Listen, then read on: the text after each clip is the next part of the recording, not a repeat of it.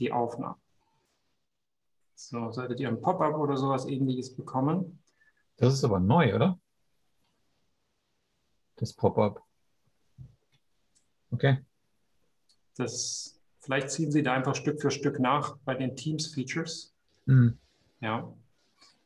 Gut, dann gebe ich mal das Intro. Freue mich, dass ihr da seid und euch für zwei Themen interessiert, Working Out Loud und wie wir Projektmanagement mit Scrum verbinden. Ich finde beides extrem cool und spannend.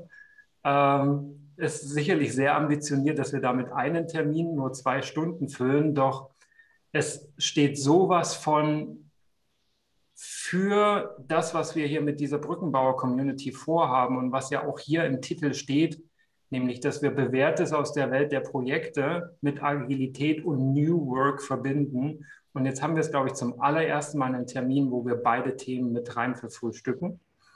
Und ähm, das überspringe ich mal für den Fall, dass sich jemand gefragt hat, wo das ist und über den Post hierher gekommen ist. Ähm, das Foto habe tatsächlich nicht ich, meine Frau geschossen. Das ist in Utah in den USA. Wenn sich jemand für den Arches National Park interessieren sollte, da stehen die geilen Brücken, die wir immer benutzen. Also auch die hier, der Window Arch, und an den hier kann ich mich gar nicht mehr erinnern. Sehr, sehr geil und sehenswert, aber eben nicht gerade um die Ecke. Ähm, wieder zurück zum Eigentlichen. Ähm, wir haben uns Verstärkung geholt. Antje lässt sich entschuldigen. Wir sind dann also noch Frank und ich zum Thema Working Out Loud mm, ist die Caro dabei.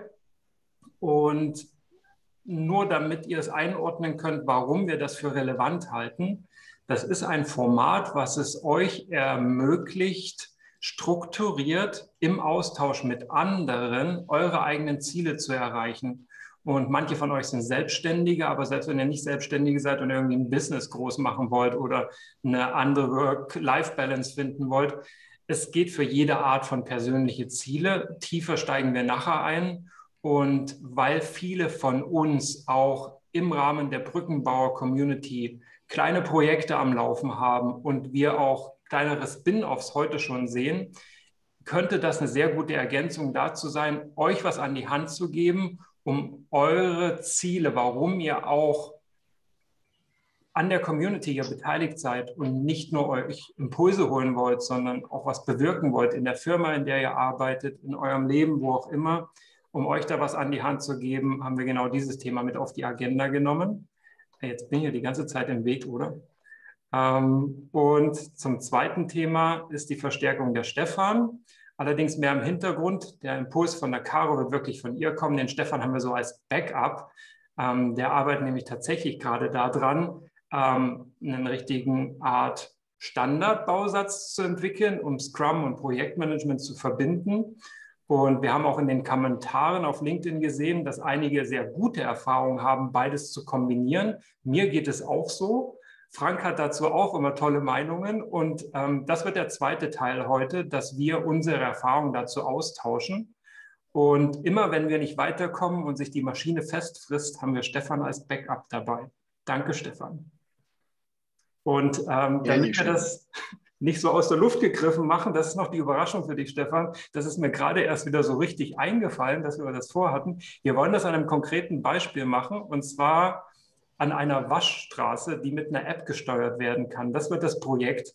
Damit es nicht so beliebig wird, ähm, werden wir uns daran festhalten. Und damit stoppe ich schon den Screenshare und übergebe das Wort an die Impulsgeberin Caro, die ich vor knapp zwei Monaten auch online kennengelernt habe. Wir haben uns viel über Workout Loud unterhalten und ihre Erfahrungen. Und ich fand das so toll und passend, dass wir sie jetzt in der Vorbereitung dieses Termins gebeten haben, uns mal mitzunehmen auf ihre Working Out Loud Reise, die du jetzt, glaube ich, seit fünf oder sechs Wochen, ach, nimm uns mit, zehn Wochen Nimm uns einfach mit. Ich übergebe an dich, Caro. Vielen lieben Dank. Ja, hallo zusammen. Ähm, ich bin die Caro. Ich werde euch, wie Chris schon eingeleitet hat und tatsächlich auch schon eine Definition gegeben hat, äh, ein bisschen was über das Thema Working Out Loud, kurz WOL, berichten im Rahmen eines ganz kurzen Impulsvortrags. Ähm, ihr dürft mich jederzeit unterbrechen. Ich gebe ähm, direkt mal meinen Bildschirm frei. Ähm, ihr dürft mich jederzeit unterbrechen, dürft jederzeit Fragen stellen. Ich bin auch ganz gespannt, ob ihr, ob einer von euch schon mal ähm, Woll durchlebt hat, Woll als Methode so kennt. Ähm, genau, aber ich würde sagen, fangen wir einfach mal an. Ich hoffe, ihr könnt meine Präsentation sehen. Das müsste geklappt haben. Sehr gut. Genau, wer bin ich? Mein Name ist Caroline Bündgen. Ich bin 26 Jahre alt und komme aus Koblenz. Ich habe gehört oder mitbekommen, wir sind sehr verteilt deutschlandweit. Also ich bin dann so Südwesten unterwegs. Ähm, ich bin Projektkoordinatorin seit jetzt sieben Monaten auch im agilen Umfeld. Vorher war ich im klassischen Umfeld eher tätig. Jetzt bin ich in einem Innovationszentrum einer Versicherung und dort beschäftigen wir uns mit agilen Methoden und Arbeitstechniken. Wenn ihr möchtet, können wir uns sehr gerne auf LinkedIn und Xing vernetzen. Deswegen habe ich es hier nochmal aufgebracht. Und genau, ich würde gerne einen kurzen Einstieg geben zum Thema Working Out Loud. Ähm, Chris hat es eben schon mal zusammengefasst. Ich habe hier mal das Zitat von dem Urvater von Working Out Loud, John Stepper, rausgesucht. Und zwar beschreibt er die Methode oder beschreibt er es als eine Methode, um relevante Arbeitsbeziehungen aufzubauen und dabei helfen, ein Ziel zu erreichen oder neue Themen zu entdecken.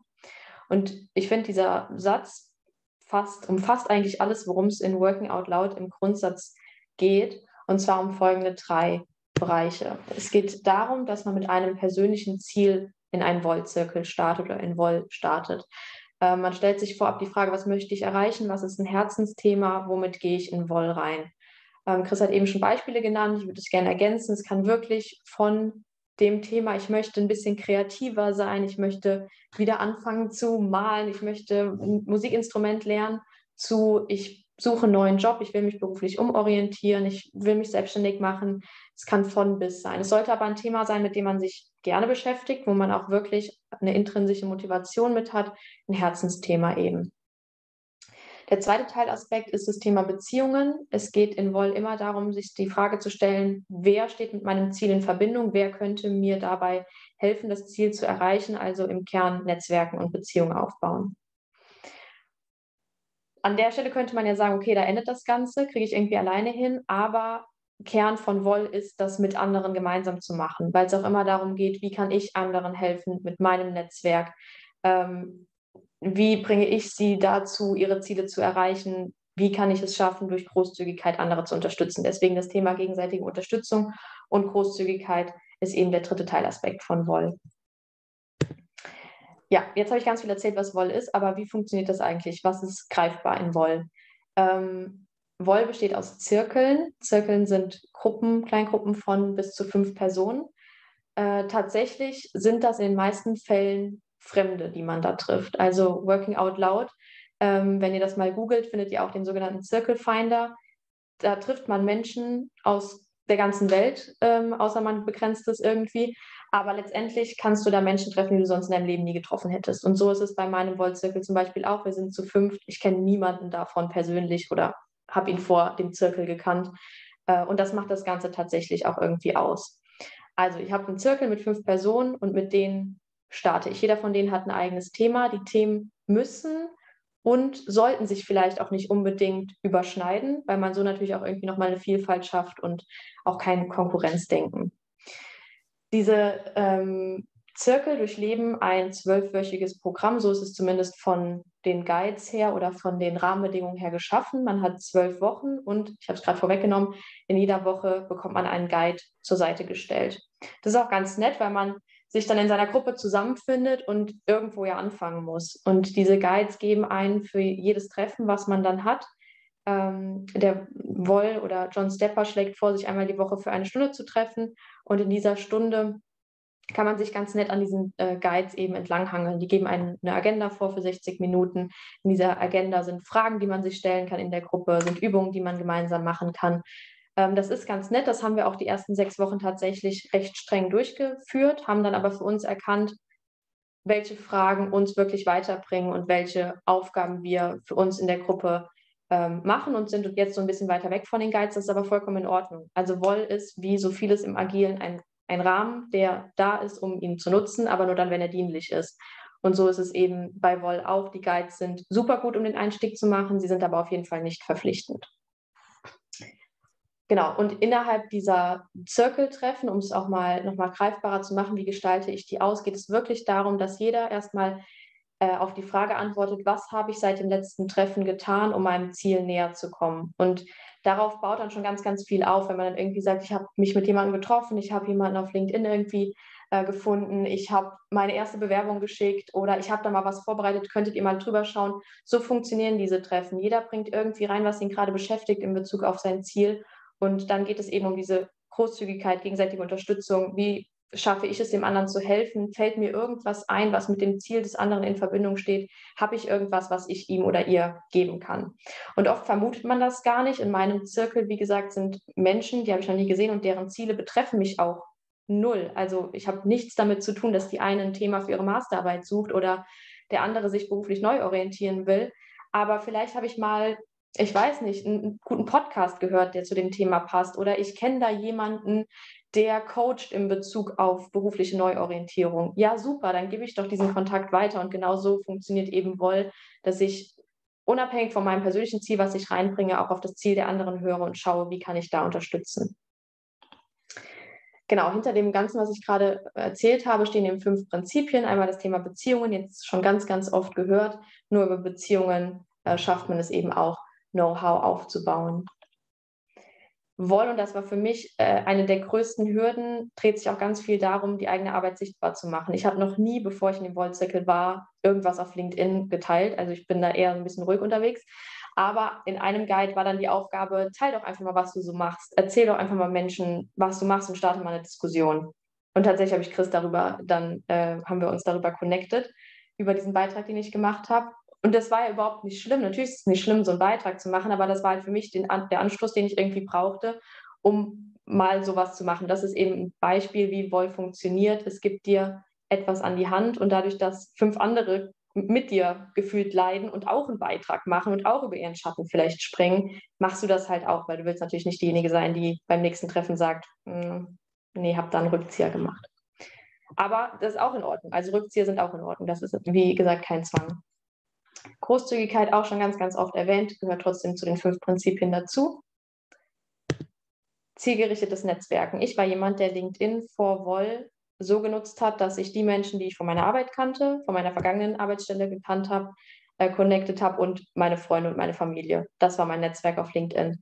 Mit Woll habe ich dann angefangen, okay, es gibt auch Menschen darüber hinaus, die kenne ich zwar noch nicht, aber vielleicht sollte ich sie halt kennenlernen und habe dann irgendwie angefangen zu verstehen, wie LinkedIn funktioniert, ähm, dass da auch wie hinter vielem ein Algorithmus hängt. Und wenn ich mal einen gefunden habe, finde ich zwei, drei, vier. Und so baue ich mir ein Netzwerk auf aus Leuten, ja, die irgendwie gleich denken wie ich oder die inspirierend sind, die interessant sind. Also unterstützt oder hat mich zumindest wohl auch in dem Bereich sehr äh, nach vorne gebracht. Genau, und der Punkt ähm, Growth Mindset, also den Kopf frei machen, mal außerhalb von irgendwie eigenen Grenzen denken. Äh, über den Schatten springen, habe ich jetzt schon öfter gesagt, mit fremden Menschen über irgendwie seine persönlichsten Ziele, aber auch den eigenen Schweinehund vielleicht mal reden.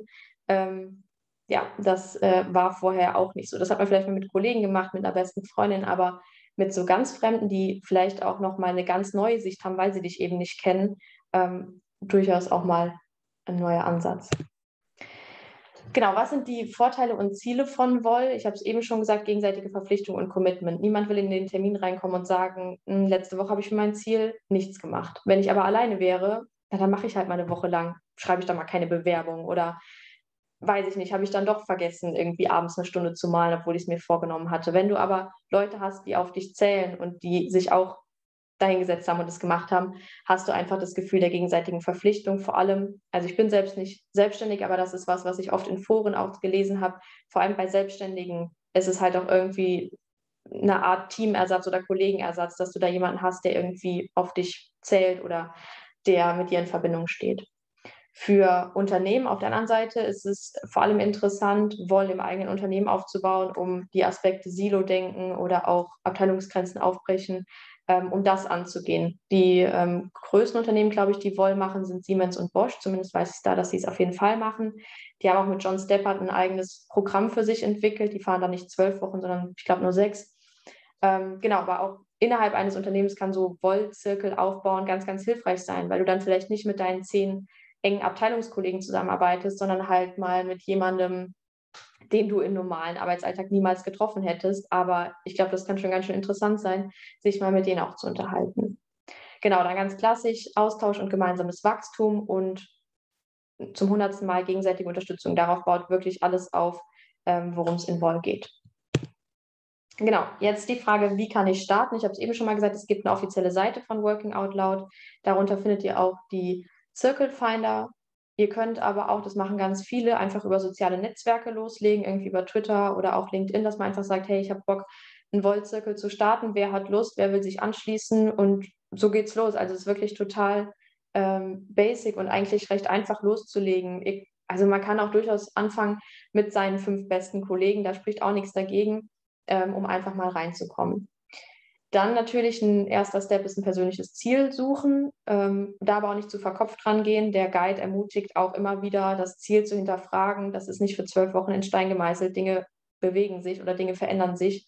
Ähm, genau, damit kann man aber gut starten. Und wie gesagt, online gibt es die Guides von Woche 1 bis 12 zum kostenlosen Download. Da könnt ihr auch jetzt schon mal reinschauen, unabhängig davon, ob ihr einen Zirkel gestartet habt.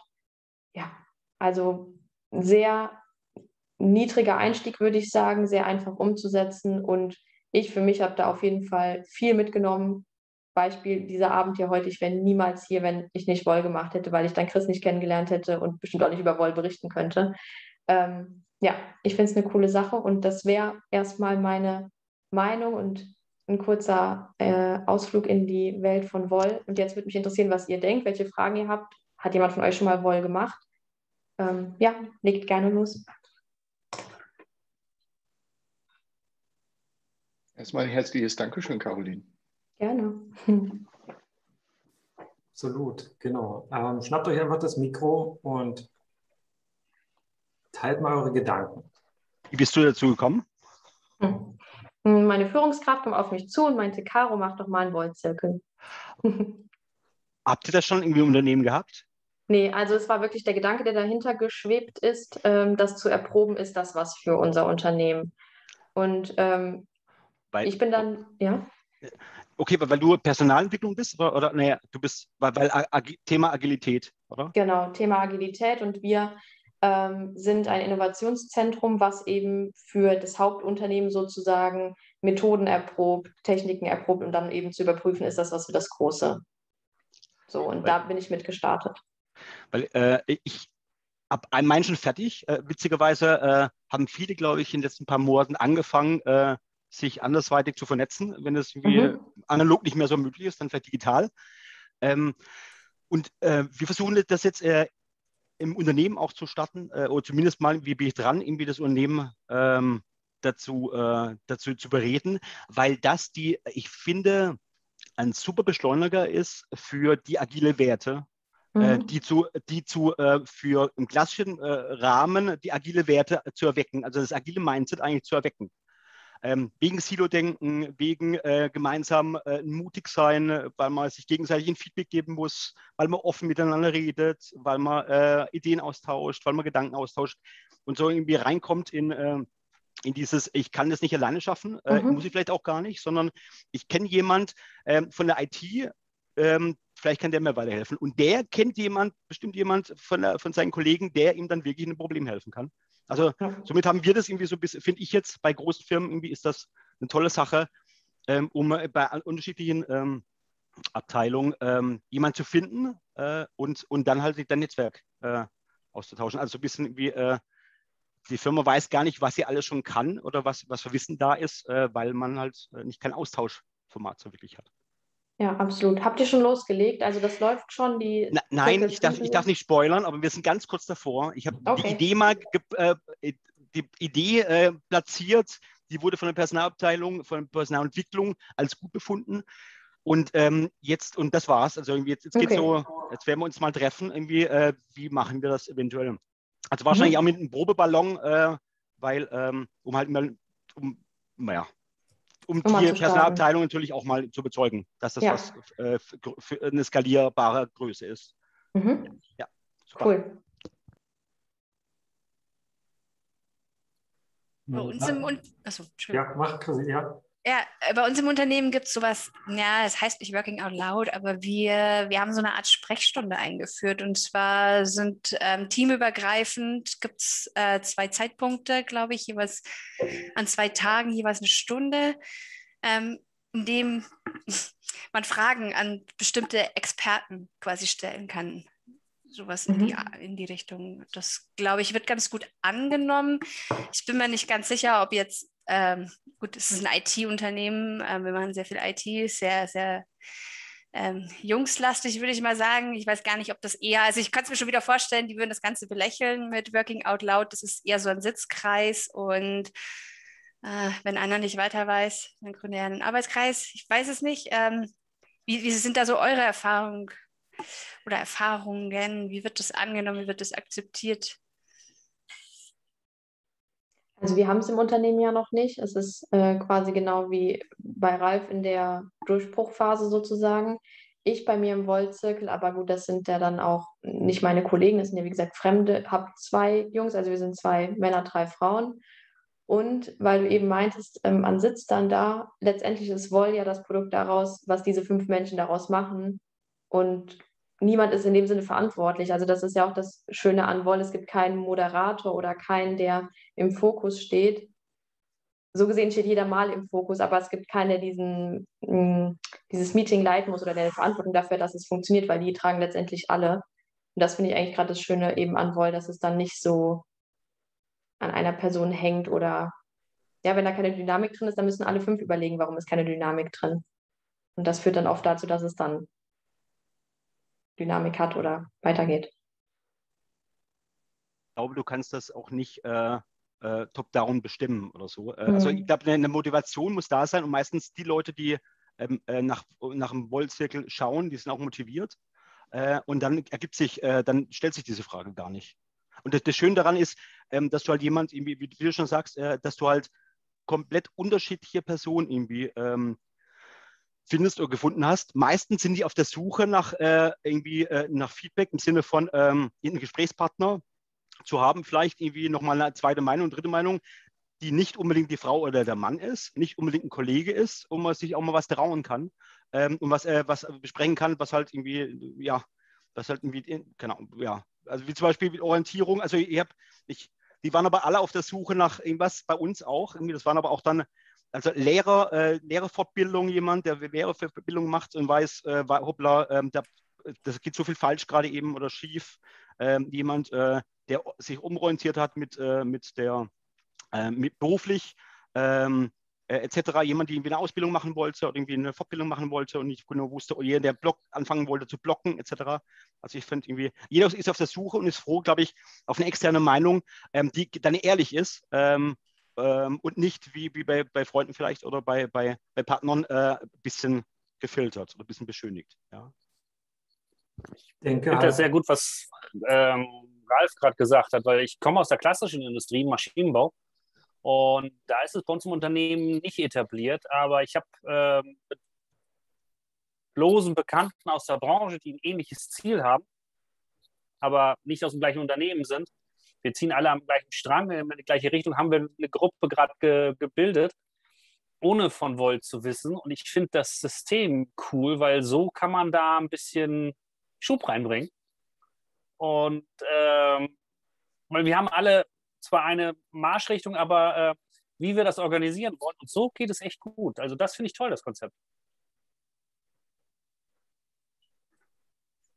Caro, würdest du es unterstreichen, wenn ich sage, das ist zumindest jetzt das, was ich verstanden habe, das muss sich schon um dein eigenes Ziel drehen. Das geht nicht, dass jetzt die Firma kommt und sagt, hier dieses Projektziel und du nimmst dann einen Wollzirkel, um das zu erreichen. Ich glaube, das wird nichts werden, weil dann diese intrinsische Motivation genau an der Stelle fehlt, wo das ins Stocken gerät und dann ja die Dynamik dead ist, weil ich nicht motiviert bin, sondern versucht wurde, von außen zu motivieren.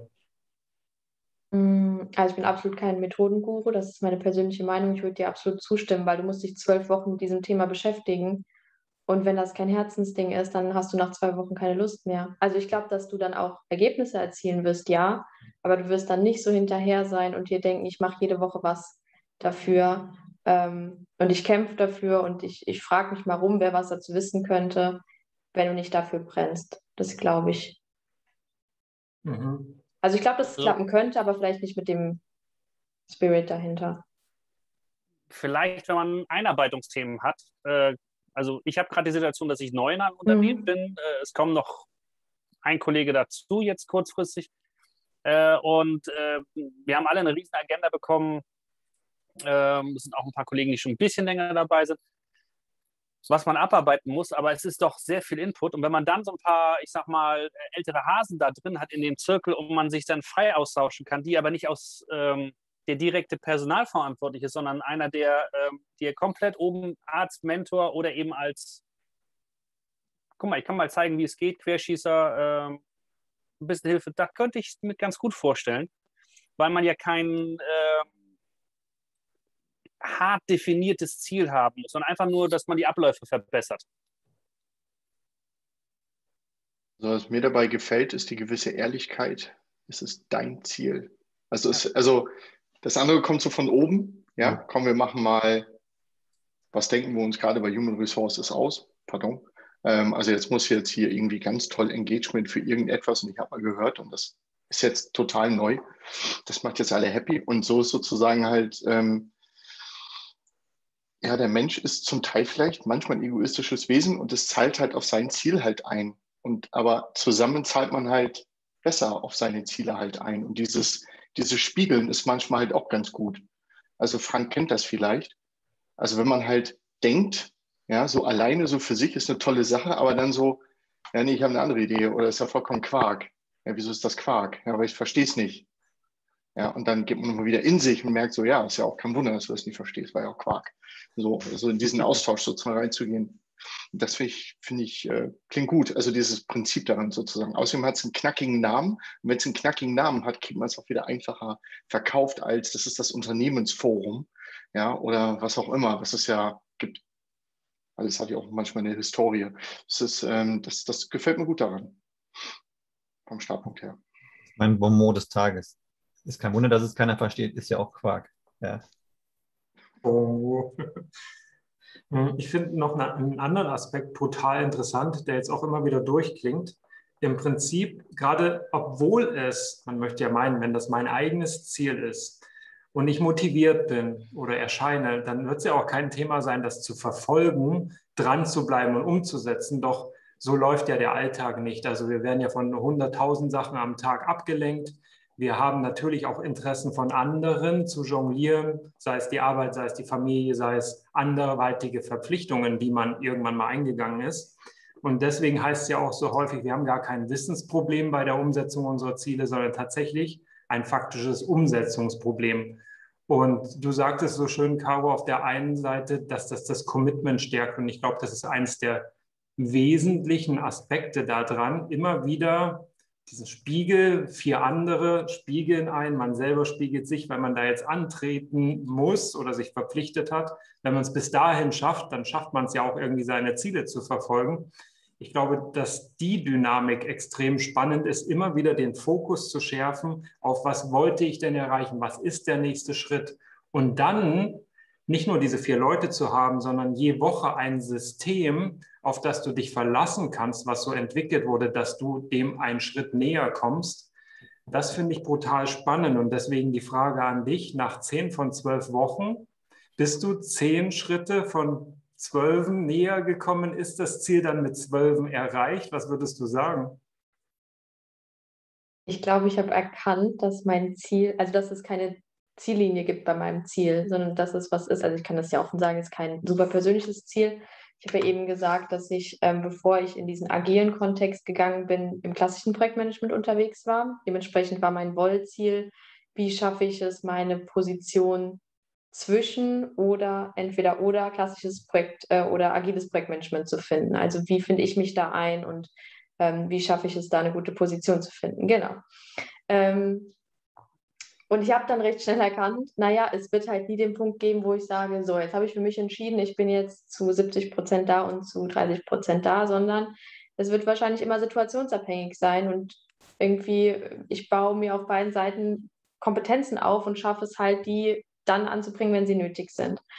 Ähm, deswegen, ich bin bestimmt nicht zehn Zwölftel an meinem Ziel sozusagen dran, aber ich habe jetzt so ein paar Dinge an die Hand bekommen, wo ich einfach weiß, okay, das sind kleine Steps, die ich machen kann, um mehr darüber zu erfahren oder besser zu werden in dem oder ja, dann vielleicht dem Ziel näher zu kommen, aber es wird wahrscheinlich nicht die, diese Ziellinie so geben. Ja, es hat mich auf jeden Fall weitergebracht, das zu 100 Prozent, ja. Da gibt es ja, ein, ein schönes Zitat von so einem. Ah, nee. Da gibt es ein tolles Zitat von, ähm, von so einem Podcast, geht lustigerweise um Fitness und Ernährung. Ähm, jeden, jeden Tag sozusagen eine bessere Version von sich selbst zu werden. Ja, also was, was ist schon dieses, dieses endgültige Ziel. Mhm. Also je mehr man geht und je länger man geht, desto mehr weiß man, dass das Ding ist immer weiter weg. Aber sage ich jetzt mal, was ist man besser als davor? Das ist, glaube ich, ähm, dieses Spiegeln ja, und dieser Austausch zum Ziel. Und wenn es sozusagen reicht, nö, das ist gar nicht mehr der richtige Zickel.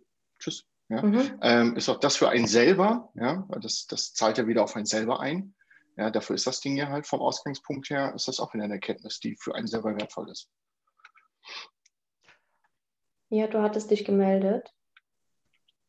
Ich hätte noch eine Verständnisfrage. Ähm, für mich ist das Thema völlig neu. Also es gibt natürlich viele Aspekte, die, die, die, die grundsätzlich natürlich, äh, ich glaube, äh, einem irgendwo in anderer Form immer wieder über den Weg laufen. Vernetzen und austauschen und so weiter und so fort. Ähm, das ist halt jetzt, äh, glaube ich, vielleicht eventuell in eine Struktur gebracht. Aber was mich interessieren würde, ähm, ist das jetzt eigentlich nur ein Kontext zum, zu, zu, zu, zur Arbeit? Sprich, ist das jetzt etwas, was man in beruflichen Themen tut? Weil wir haben vorhin schon das Schlagwort Haltung und so weiter und so fort gehört. Ähm, äh, es hat für mich so auch so ein bisschen den Charakter von dieser Persönlichkeitsentwicklung. Verstehst du das? Also gar nicht das Ziel im, im, im, im wirklichen Sinne ähm, äh, der Motivator ist, sondern eigentlich auch die Bereitschaft, im Grunde genommen seine eigene Persönlichkeit jetzt im Grunde genommen ähm, äh, weiterzuentwickeln mhm. und vielleicht eventuell auch, auch, auch, auch, auch äh, überhaupt erstmal, ich sage jetzt mal, ähm, entstehen zu lassen. Ne? Weil wir, man muss ja auch immer auf der anderen Seite sagen, ähm, das hattest du ja von deiner Erfahrung her auch, glaube ich, so ein bisschen angeschnitten, ähm, dass es ja auch sehr introvertierte Menschen gibt. Und jetzt muss ich auf einmal auch in diesem, in diesem Working Out Loud Konzept ja eigentlich auch schon in dieser Gruppe im Grunde genommen extrovertierter sein, als ich es vielleicht unter Umständen normalerweise bin. Das wäre das eine Thema, was ich so vom Verständnis her nochmal gerne nachgefragt hätte. Und das Zweite ist, was mir auch aufgefallen ist in deiner Präsentation, war ja, ähm, dass es einen Unterschied gab zu dem Thema Hilfe geben und Hilfe anfordern. Also es gab ja bei dir nie diese in Anführungszeichen ähm, äh, diese, diese, diese Pull-Aktion, äh, ähm, sondern es gab ja immer so dieses Thema, du bist ja letztendlich immer passiv. Also du hast zwar dein Ziel, du versuchst mhm. natürlich irgendwie einen Weg zu gehen und versuchst dich zu entwickeln, aber du forderst ja nie was konkret ein, sondern du lebst ja von dem, was, das ist fast schon wie diese tibetanischen Mönche, die nur nehmen, was sie geschenkt bekommen. Ähm, äh, aber wo du, wo du, sagst, das ist eine ganz andere Voraussetzung, bedeutet aber auf der anderen Seite, dass alle anderen, die in diesem, in diesem Konzept mitwirken, ja auch sich dessen bewusst sein müssen, dass sie da ja im Grunde genommen die, eigentlich die, die, die, die Triebfeder sind. Also nicht der, der sich das Ziel setzt, hat die Triebfeder, sondern die, die dazu beitragen, dass er Unterstützung erfährt oder sie Unterstützung erfährt. Mhm. Das ist ein bisschen kompliziert äh, erklärt, aber äh, das nee, alles, alles, gut. Ich versuche mal darauf zu antworten und du sagst einfach Bescheid, ob was fehlt. Ähm, zum, zur ersten Frage, Ziel. Ich würde durchaus unterstreichen, dass man auch mit einem persönlichen Ziel reinkommen kann. Also es muss auf jeden Fall nicht verpflichtend beruflich bezogen sein. Deswegen meinte ich ja eben vielleicht, ähm, weiß ich nicht, hast du halt in deiner äh, Jugend ständig, keine Ahnung, Gitarre gespielt und warst da super gut drin, hast du aus den Augen verloren. Dann kann dein Wollziel zehn Jahre später sein, ich möchte damit endlich mal wieder loslegen. Ich war da gut drin, ich muss, also ich will mir dafür Zeit nehmen. Das kann durchaus auch ein, ein Wollziel sein. Ist halt die Frage, gut, gibt es da irgendwie Menschen, die dich dabei unterstützen können? Ja, vielleicht suchst du dir durch den Wollzirkel einen Gitarrenlehrer und machst vielleicht mal deinen ersten Auftritt. Ich weiß nicht. Also es kann durchaus auch ein privates Ziel sein. Das ist auf jeden Fall nicht auf den beruflichen ähm, Kontext gepresst. Und ähm, zu deiner zweiten Frage mit dem Pull and Push, das ich habe gerade mal in den Guide parallel dabei so ein bisschen geschielt. Der macht das ganz schlau. Also wenn es eine Übung gibt, irgendwie, ich sehe gerade im ersten Guide, gibt es eine Übung, erstelle deine Beziehungsliste. Und das Letzte ist dann immer, wenn du diese Übung erreicht hast, stell sie deinem Zirkel vor. Du stellst es dem Zirkel aber erstmal vor und lässt es so da stehen und dann baut das wieder darauf auf, dass das Menschen sind, die irgendwie von sich aus Hilfe anbieten möchten und dann anspringen auch vielleicht irgendwie, hey, ich sehe, du hast super viele Coaches, ich kenne auch einen Coach, nimm den mal auf in eine Beziehungsliste. Ähm, ich habe gesehen oder du hast erzählt, du hörst gerne Podcast, ich kenne da einen für dich. Du kannst natürlich auch mit ganz konkreten Fragen reinkommen. Ich bin auch in ein paar Zirkel rein und meinte so, oh Leute, es läuft diese Woche irgendwie nicht gut. Ich stehe da irgendwie vor der und der Frage, habt ihr da was für mich? Du kannst, also so geht das natürlich auch, ganz konkret Frage stellen und darauf um Hilfe oder da deswegen um Hilfe bitten, um eine Antwort bitten.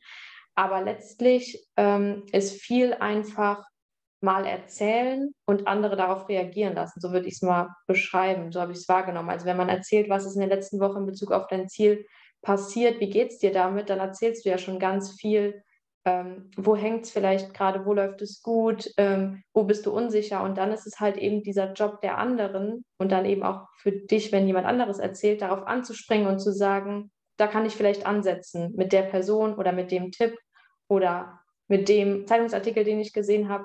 Ähm, es baut halt ganz viel darauf, also das ist meine Erfahrung, baut ganz viel darauf auf, wie andere darauf anspringen. Aber du kannst auch mit direkten Fragen kommen. Aber Ralf ergänzt mich gerne. Ja, genau. genau. ähm, Oder widersprechen wir, ist auch okay. Nein, nein, nein, nein, überhaupt nicht. Also was irgendwie, ich, ich habe das schon, ich bin schon bei, bei zwölf schon durch. Ähm, und ah, was ja. irgendwie, aber es ist alles persönliche Empfindung, wie die natürlich es, äh, dann anders wahrnimmt.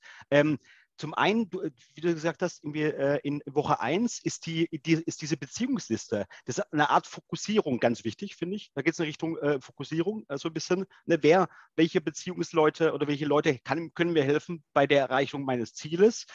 Und diese Liste wächst und du wirst halt durch den Guide geführt, ähm, ähm, da, da, wirklich auch das Netzwerk aufzubauen, um zu diesem Ziel zu kommen. Also es ist auch ein wirkliches aktives Netzwerken, also wirklich geschickt. Da kommen viele Sachen rein mit Netzwerken, kommen viele Sachen rein mit äh, Fokussierung, Commitment etc. Und ich weiß nicht, wie es dir ging, Caroline, äh, ohne zu, zu spoilern äh, wieder. Ähm, ich fand Woche 5 die spannendste weil, ähm, weil jeder äh, dann Fakten über sich erzählt, mhm. und zwar irgendwie 50 mhm. Fakten. Und dann haben, war bei uns im Zirkel dann auf einmal so dieser Schritt, jetzt sind wir wirklich äh, aus, aus Fremden sind Freunde geworden beinahe. Ähm, weil du wirklich bei 50 Fakten, du es nicht hinterm Berg hältst, zu sagen, okay, mein Lieblingsessen ist Pommes und, äh, und, äh, und trinke gerne Bier, sondern bei 50 Fakten, wie kommt ein bisschen mehr rein? Irgendwie, äh, keine Ahnung, ich bin gerade in der zweiten Ehe oder irgendwie, keine Ahnung, wie, wie auch immer, oder irgendwie die zweite Geburt, irgendwie Zwillinge waren heftig oder äh, whatever. Ähm, und dann wie bist du irgendwie, äh, dann hast du diese Dinge überschritten zwischen Bekannte, Fremde zu Bekannten, zu beinahe Freunden. Ähm, und dann traust du dich auch mehr, also Vertrauen, du vertraust den Leuten Informationen über dich an und trau, also traust dich und du kriegst ein Vertrauen auch ähm, auf der anderen Seite. Und deswegen ab Woche 5, 6 kann sein, wie das mal regelmäßig reinkommt, oh, das war so eine scheiß Woche. Ähm, äh, das und das ist passiert, ich habe mich geärgert oder der äh, E-Mail von meinem Boss bekommen, bla bla bla. Und die anderen, das ist wieder so eine, so eine Schicksalsgemeinschaft, die sich gegenseitig ein bisschen stützen. Also das mhm. war bei uns ab Woche 5 zu erkennen, auf jeden Fall. Und wir haben jetzt noch irgendwie Kontakt, irgendwie also einmal äh, alle zwei Monate, äh, um, weil jeder so sein Ziel mehr oder weniger verfolgt hat, weiter.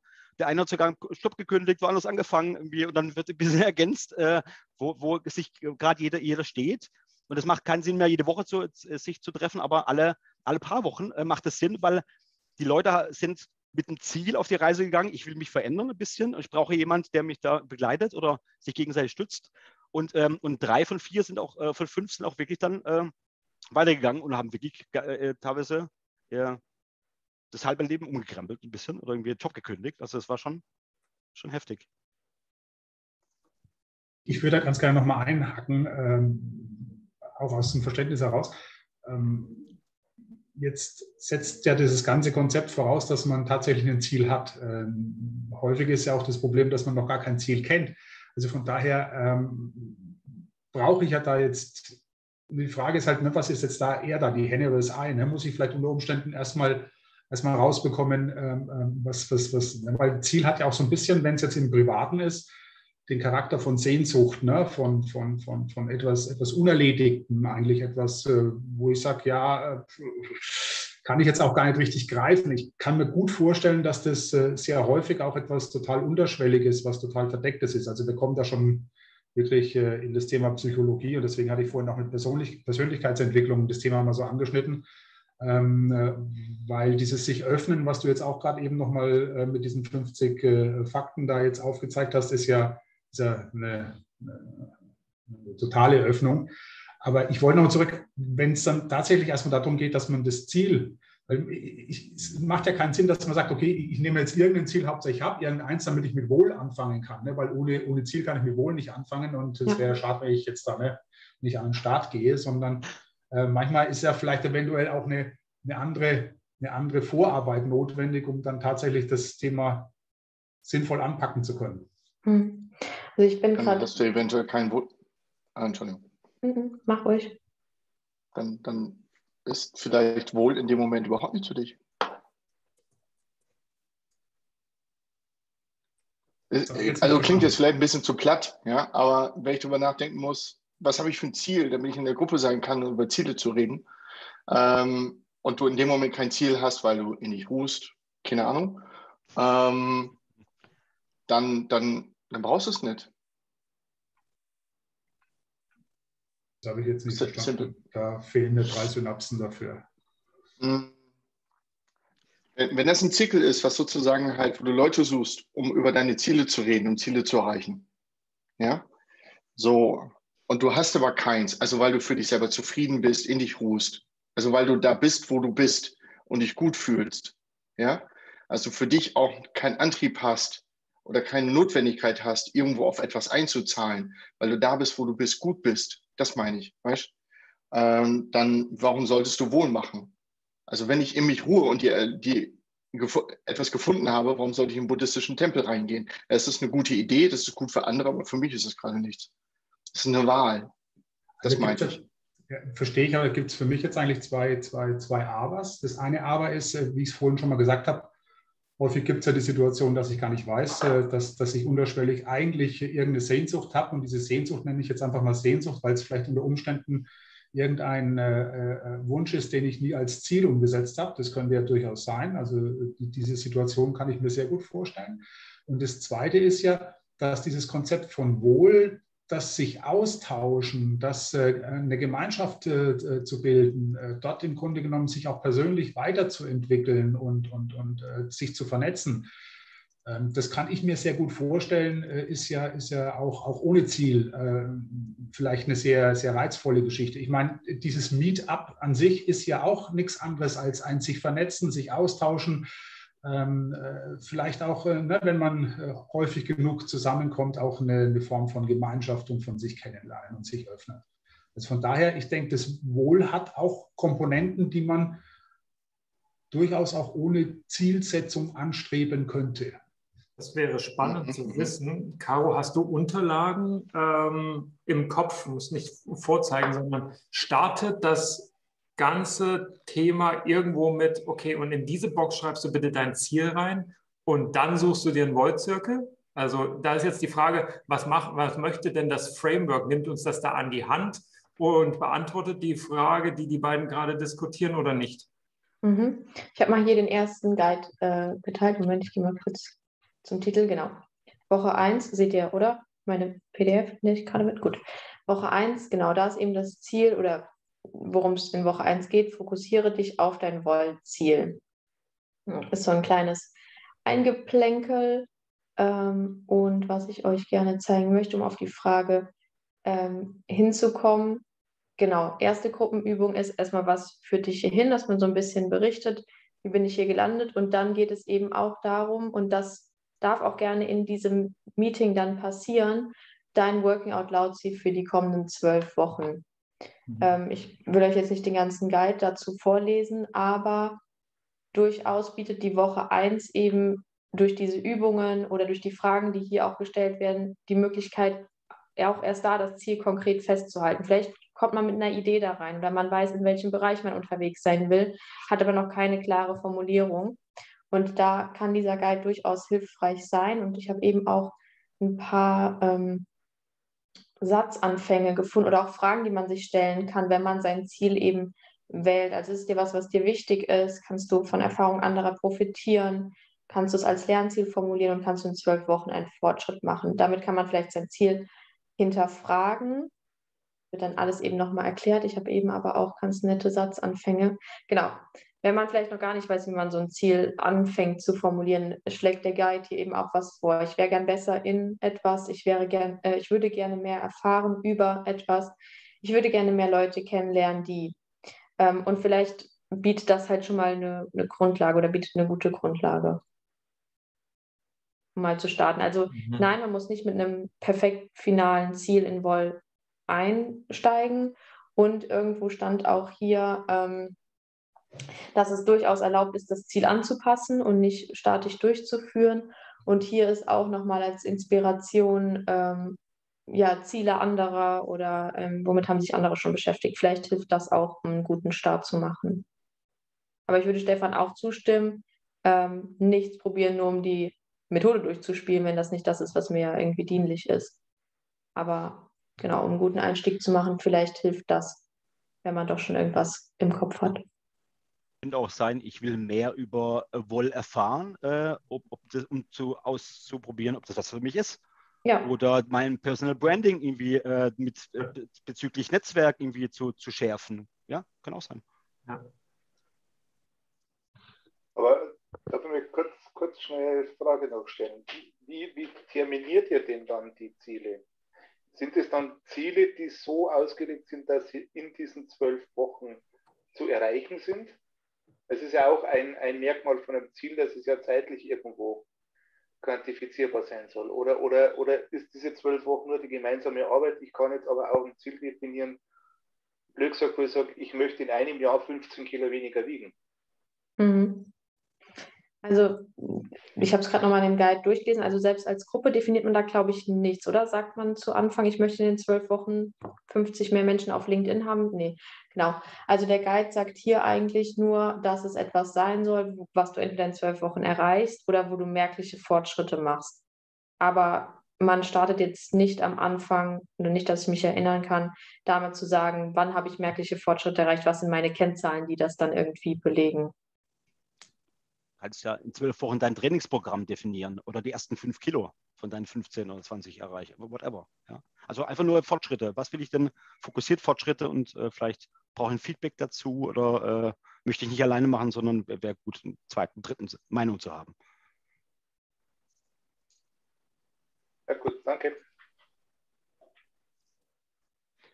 Ich, ich hadere irgendwie noch mit, mit einem Punkt, der mir heute das erste Mal aufgefallen ist. Also du, du hattest am Anfang gesagt, man kann das auch mit Kollegen und Freunden starten ähm, und man macht das auch in manchen Unternehmen äh, versus den Punkt, dass es sinnvoller ist, das mit Fremden zu machen, weil man dort weniger Druck hat, sich vielleicht mehr öffnet und über bestimmte Themen offener reden kann. Und diese Diskrepanz, die kriege ich gerade nicht so richtig aus dem Kopf. Ähm, ich, ich, kann mir natürlich vorstellen, wenn man das eingeübt hat und so ein bisschen Routine hat und sich auf den Prozess verlassen kann, dass es dann im im Unternehmen oder mit Bekannten funktioniert, aber wäre es nicht geschickter, zumindest mal die ersten ein, zwei zu machen mit wirklich Fremden? Mhm. Aber ich glaube, das scheint mir ein essentieller Part zu sein. Ja, also ich würde jetzt auch rückblickend zustimmen, dass ich froh bin, dass ich das erstmal außerhalb des Unternehmens gestartet habe, auch einfach um mhm. die Methodik mal zu verstehen, das war ja auch Ziel meines Wollzirkel neben, neben dem eigenen Ziel, was ich mit reingebracht habe. Also genau, um einfach die Methodik mal zu verstehen, auch so ein bisschen losgelöst zu sein. Durchaus würde ich sagen, starte das ganz äh, frei. Ähm, wie gesagt, wenn eben das Ziel auch von der Methode Woll ist, dass ein Unternehmen sagt, ich will Silo-Denken aufbrechen oder ein Unternehmen diesem, diesem Problem entgegensteht, ähm, kann Woll im Unternehmen eben eine Möglichkeit sein, das aufzubrechen, Silo-Denken, Abteilungsgrenzen. Und dann würde ich schon sagen, Woll im Unternehmen funktioniert. Wobei ich da dann auch wieder abschwächen würde, mach es halt vielleicht nicht direkt mit deinem Kollegen, der neben dir sitzt, weil den hast du im besten Fall irgendwie, oder mit dem unterhältst du dich im besten Fall eh schon oder hast da irgendwie den Spiegel, der dir vorgehalten wird, dann triff dich doch mal mit einem Kollegen, den du sonst niemals getroffen hättest.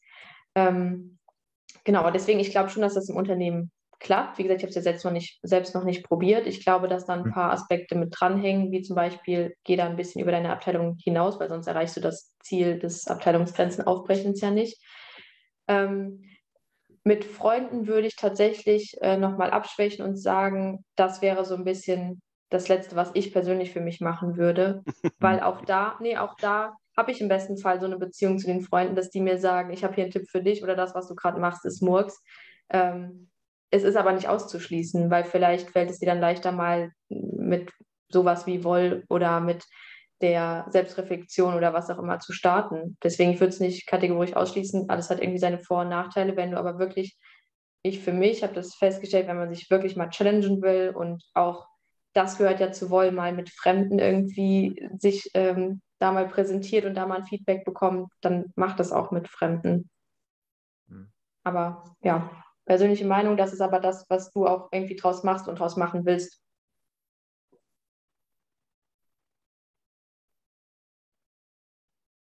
Okay.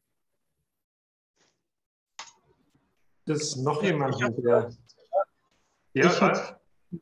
Hallöchen. Los. Hallo, ähm, ich hätte gerne gewusst, also ich bilde mir jetzt ein, ich habe das verstanden. Ähm, vor allem, wenn man es im Unternehmen für sich nutzen möchte, ist es ja quasi auch ein Tool des Change Managements. Jetzt habe ich am Anfang auch gehört, irgendwie, das sei agil. Jetzt meine Frage, inwiefern stärkt das denn ein agiles Mindset, um das sozusagen, um dieses Silo-Denken äh, zu durchbrechen zu helfen und dass man da tatsächlich irgendwie so mehr an die agilen Methoden rankommt. Also ich habe mich hier so ein paar Sachen notiert. Ich könnte jetzt was sagen, aber ich würde gerne erst mal hören, äh, wie du das dann einschätzt. Wo sind da die Stärken quasi in die Agilität zu kommen mit Woll? Hm, ich würde nicht sagen, dass Woll ein Weg ist, um in die Agilität zu kommen. Also ich glaube, es ist eine Methode, die aus dem aus der agilen Toolbox kommt. Warum sie da gelandet ist, kann John Stepper dann sagen. Ähm, das Ziel, was hinter Woll steckt, ist ja nicht agiler zu werden, sondern das ist ein persönliches Ziel durch Netzwerken erreichen und durch gegenseitige Unterstützung.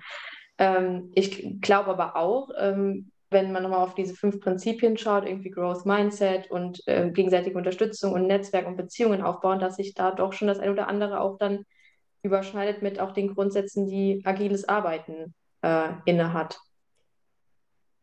Ja, Ralf? Ähm, also ich weiß nicht, äh, die, ich finde, das zahlt schon sehr auf diese agile Werte, auf dieses agile Mindset und auf die agilen Werte. Nicht auf die Werkzeuge, sondern auf die agilen Werte mit ein. Das ist, ich habe einen Respekt miteinander, ich habe ein Commitment, äh, dass ich, wenn ich zusage, mache ich das auch. Ich bin offen, äh, habe äh, hab auch eine, ja, hab auch eine Fehlerkultur ähm, gehe über die Silo-Denken hinaus, äh, teile mein Wissen mit anderen, nimm auch Hilfe an und biete auch Hilfe an.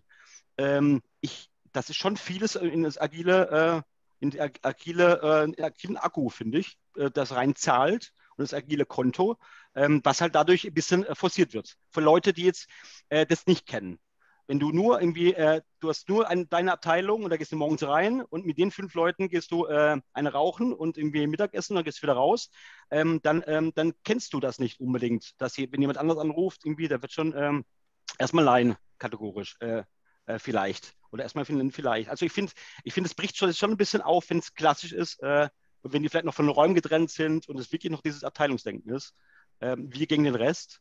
Ähm, dass, dass es aufgebrochen wird. Also gerade was du vorhin gesagt hast, wenn du es noch nicht über nicht Freunde, sondern genau eben die andere Abteilung, nicht, dein, dein, nicht deine Bubble, sondern äh, ein anderes, eine andere Generation und idealerweise nicht nur äh, deine Level, sondern ein Level höher oder ein Level drunter, umso besser, ja. Und wenn die sich dann irgendwie äh, in, in, der Kantine irgendwie treffen und miteinander irgendwie äh, eine Kürbis essen, ähm, egal welcher Level die gerade eben sind, äh, dann äh, go for it.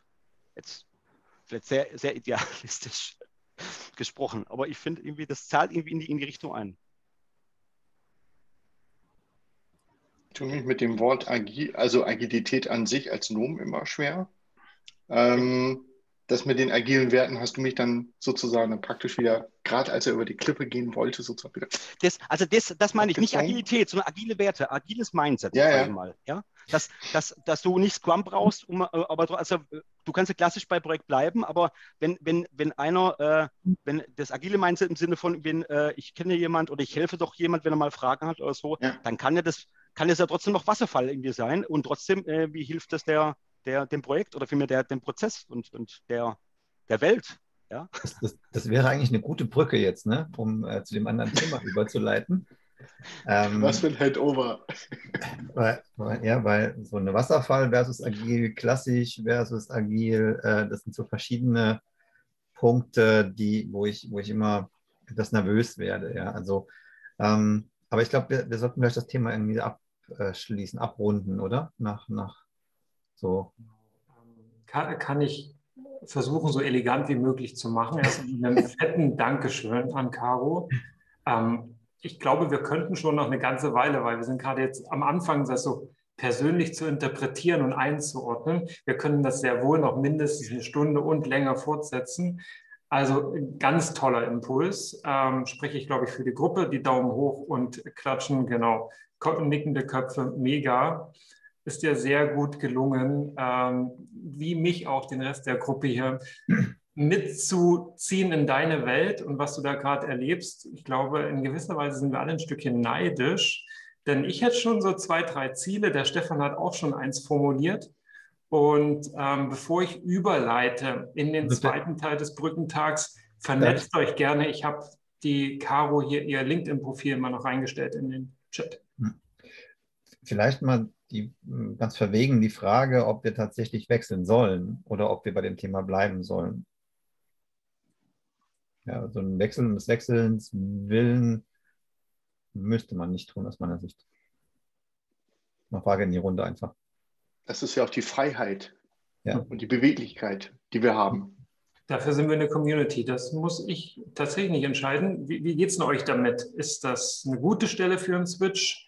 Habt ihr, weil es sind auch sicherlich, also es könnte sein, dass jemand dabei ist, primär wegen dem Thema PM und Scrum miteinander verknüpfen und jetzt schon kribbelig wird, schaffen wir das noch in den letzten 56 Minuten. Ja, wir könnten eine, eine, eine Hybridlösung machen und ähm, primär über die Definition von Silos, Agilität und Werten reden im Kontext von Woll, dann haben wir vielleicht beides. Ähm, aber wie gesagt, war nur so eine Idee. Boah, das ist jetzt aber die thematische Blutgrätsche, mein Freund. Ja. Kann auch Breakout auch machen. Wer, wer, Lust hat, geht in Breakout und führt da das Thema Wolf fort, wenn sich jemand ähm, bereit erklärt, da drin auch zu moderieren, denn ich würde tatsächlich dann in der anderen bleiben. Ähm, auf der anderen Seite greift es auch ein Ziel auf. Also Stefan zum Beispiel, der Herr Scharf, beschäftigt sich damit. Ähm, Projektleitung hat er jetzt geschrieben, also klassische Projektmanagement-Ansätze an Scrum anzudocken oder andersrum. Das ist ja erstmal Wurst, je nachdem, welchen Stecker man in der Hand hält und in welcher Welt man sich gerade befindet. Und das ist ein persönliches Ziel. Und witzigerweise haben wir schon so eine Art Voltzirkel, ohne zu wissen, was das war. Und wir haben nicht wirklich einen Voltzirkel, weil wir machen das unstrukturiert. Aber der Stefan, der Frank, noch ein paar andere tauschen sich schon regelmäßig aus um zumindest dem Stefan an seinen Zielen zu helfen. Ich weiß nicht, inwiefern Stefan anderen hilft. Mir hilft er ja schon. Für andere kann ich nicht sprechen. Aber irgendwie haben wir schon intuitiv diese Dynamik im Gange. Und deswegen wäre es schon eine schöne Brücke in dieses Hybridisierung. Ich hau mal einen raus. Ich habe ja diesen Guide ja noch nie gelesen. Ja? Ähm, ich lese den Guide mal durch und wir können ja auch einen Zirkel draus machen. Also, wir, sind ja, wir sind ja offen für Neues. Das, das war ja mal eine Idee im, im Vorfeld auch, aber ich glaube, das widerspricht so ein bisschen ähm, dem Konzept, weil wir dann ja alle dasselbe Ziel hätten. Ja? Also vielleicht ist das okay, aber ähm, irgendwie sind wir auch so ein bisschen ähm, in einer ähnlichen Dynamik, aber. Gell? Ja. Weil sage ich jetzt mal, vielleicht ist dein Mod ein anderer Mod. Womit ich ja völlig, also, weißt also es ist ja ein freies Land wenn dein Mod ein anderer Mod ist, ja, dann ist das ja, ist das okay. Weißt ja, Also, also ist ja bin, jeder frei, sein, sein Evangelium zu erzählen. Ich bin, ich bin ja. für Experimente offen. Können wir, wir dieses Format überführen? Wir, wir, können das ja mal probieren. Wir machen mal einfach einen Post auf LinkedIn und sammeln mal, wer, wer mitmachen möchte. Dann finden wir fünf Leute und sagen, wir probieren das einfach aus. Ja. Ähm, die Idee finde ich durchaus gut. Ähm, wir können ja schon mal nehmen, was da ist. Wir sind ja nicht auf Null. Genau. Wir können ja fragen, die Community fragen, ob das für sie okay ist. Also wäre jetzt so mein Vorschlag. Ja. Das ist ähm, und fragen wir Schöne an der Community, dass wir die auch selbst organisiert haben wollen. Macht doch mal draus, was ihr daraus gerne machen wollt. Und wenn jemand die Idee hat, dafür die LinkedIn-Community zu nutzen, um dort einen Post zu posten, bitte. und dann gucken wir mal, welche Dynamik sich einstellt, wer welche Ziele verfolgt und ob sich da etwas draus ergibt. Da, da, da gibt es ja, Caro, ich habe es richtig verstanden, da gibt es keinen Moderator. Nö. Sobald da sich fünf Leute gefunden haben, on y va, los geht's. Gut. Ja, machen wir das so. Machen wir das so. So, und dann moderiere ich mal fertig über. Also wer sich mit Caro gerne direkt vernetzen möchte, ähm, tut das ganz gerne über diesen Link, den ich hier reingestellt habe auf LinkedIn. Ähm, und wir schauen mal drauf, wie wir Projektmanagement und Scrum aneinander gedockt bekommen. Und das ist ein ganz freier Austausch. Also Stefan arbeitet tatsächlich da an einem, vielleicht irgendwann Standard, aber auf jeden Fall an einem systematischen Aneinanderdocken. Alle anderen, ich weiß zum Beispiel mit Sebastian, wie es nicht, war ich zusammen in einem Projekt noch letztes Jahr, wo beide Welten an manchen Stellen kollidiert sind, an manchen Stellen sehr gut funktioniert haben. Also in der Praxis gibt es das. Das ist kein Gehirn, Hirngespinst. Ähm, ganz offen, möchte jemand Erfahrung teilen, wie das geht? Oder Geschichten oder Projekterfahrungen? Und starten wir mal so rein, mal sehen, ob es dieses Beispiel mit der Waschstraße, dieses Künstliche überhaupt braucht. Mag jemand mal was teilen? ein Erfahrungswert oder ein Erwartungswert oder ein selbst ein Konterstatement, nee, sorry, das ist nicht füreinander gemacht. Bitte don't abuse the frameworks. Oh. Ich würde beides machen. Ever change the running systems. Also ich bin, ich bin, also mein, meine Erfahrung ähm, ist, ähm, dass die hm. Also, dass ich aus einer sehr agilen Welt gekommen bin, allerdings äh, eher unsystematisch, dann in die klassische Projektmanagement-Schiene geraten bin und danach in die klassische Scrum-Schiene. Ähm, und ähm, meine Lehren aus diesem, diesem Ping-Pong ähm, ist tatsächlich so ein bisschen äh, dieses, dieses ähm, ja, Hybridmodell, und zu sagen, man kann die gut kombinieren, aber man sollte die auch irgendwie in gewissem Sinne in Ruhe lassen und nicht, nicht anfangen, die zu sehr zu vermischen. Das ist auch in der Diskussion mit dem Stefan so eins meiner Mantras. Ähm, wenn ich Scrum mache, dann, dann lasst mir das Scrum bitte in Ruhe. Ja, dann, dann lasse ich bitte den, den Product, genau, das ist nur so meine Erfahrung. Ja, der, der Product Owner ist der Owner des Products, ja, und, und nicht irgendwie der Product Manager und nicht der Scrum Master und nicht der Project Manager und so. Dann, dann, dann nehme ich das bitte so, wie es ist Zumindest mal, bis ich das zehn Jahre lang gemacht habe. Ja, und dann kann ich mal anfangen, das zu modifizieren. Ähm, während aus meiner Sicht das Thema Silos und, und Agilität und klassisch äh, sich gar nicht so gegenübersteht, sondern dass das oftmals nur ein verbaler äh, Konflikt ist. Ähm, während, weil nämlich in meiner Welt ist klassisches Projektmanagement erstmal überhaupt nicht an Wasserfall gebunden, sondern klassisches Projektmanagement deckt andere Themen ab als in Scrum. Die überlappen sich an manchen Stellen, aber im Wesentlichen deckt es andere Domains ab. Und das war die Idee auch hinter unseren bisherigen Diskussionen, zu sagen, wir haben eher so etwas wie eine Matrix.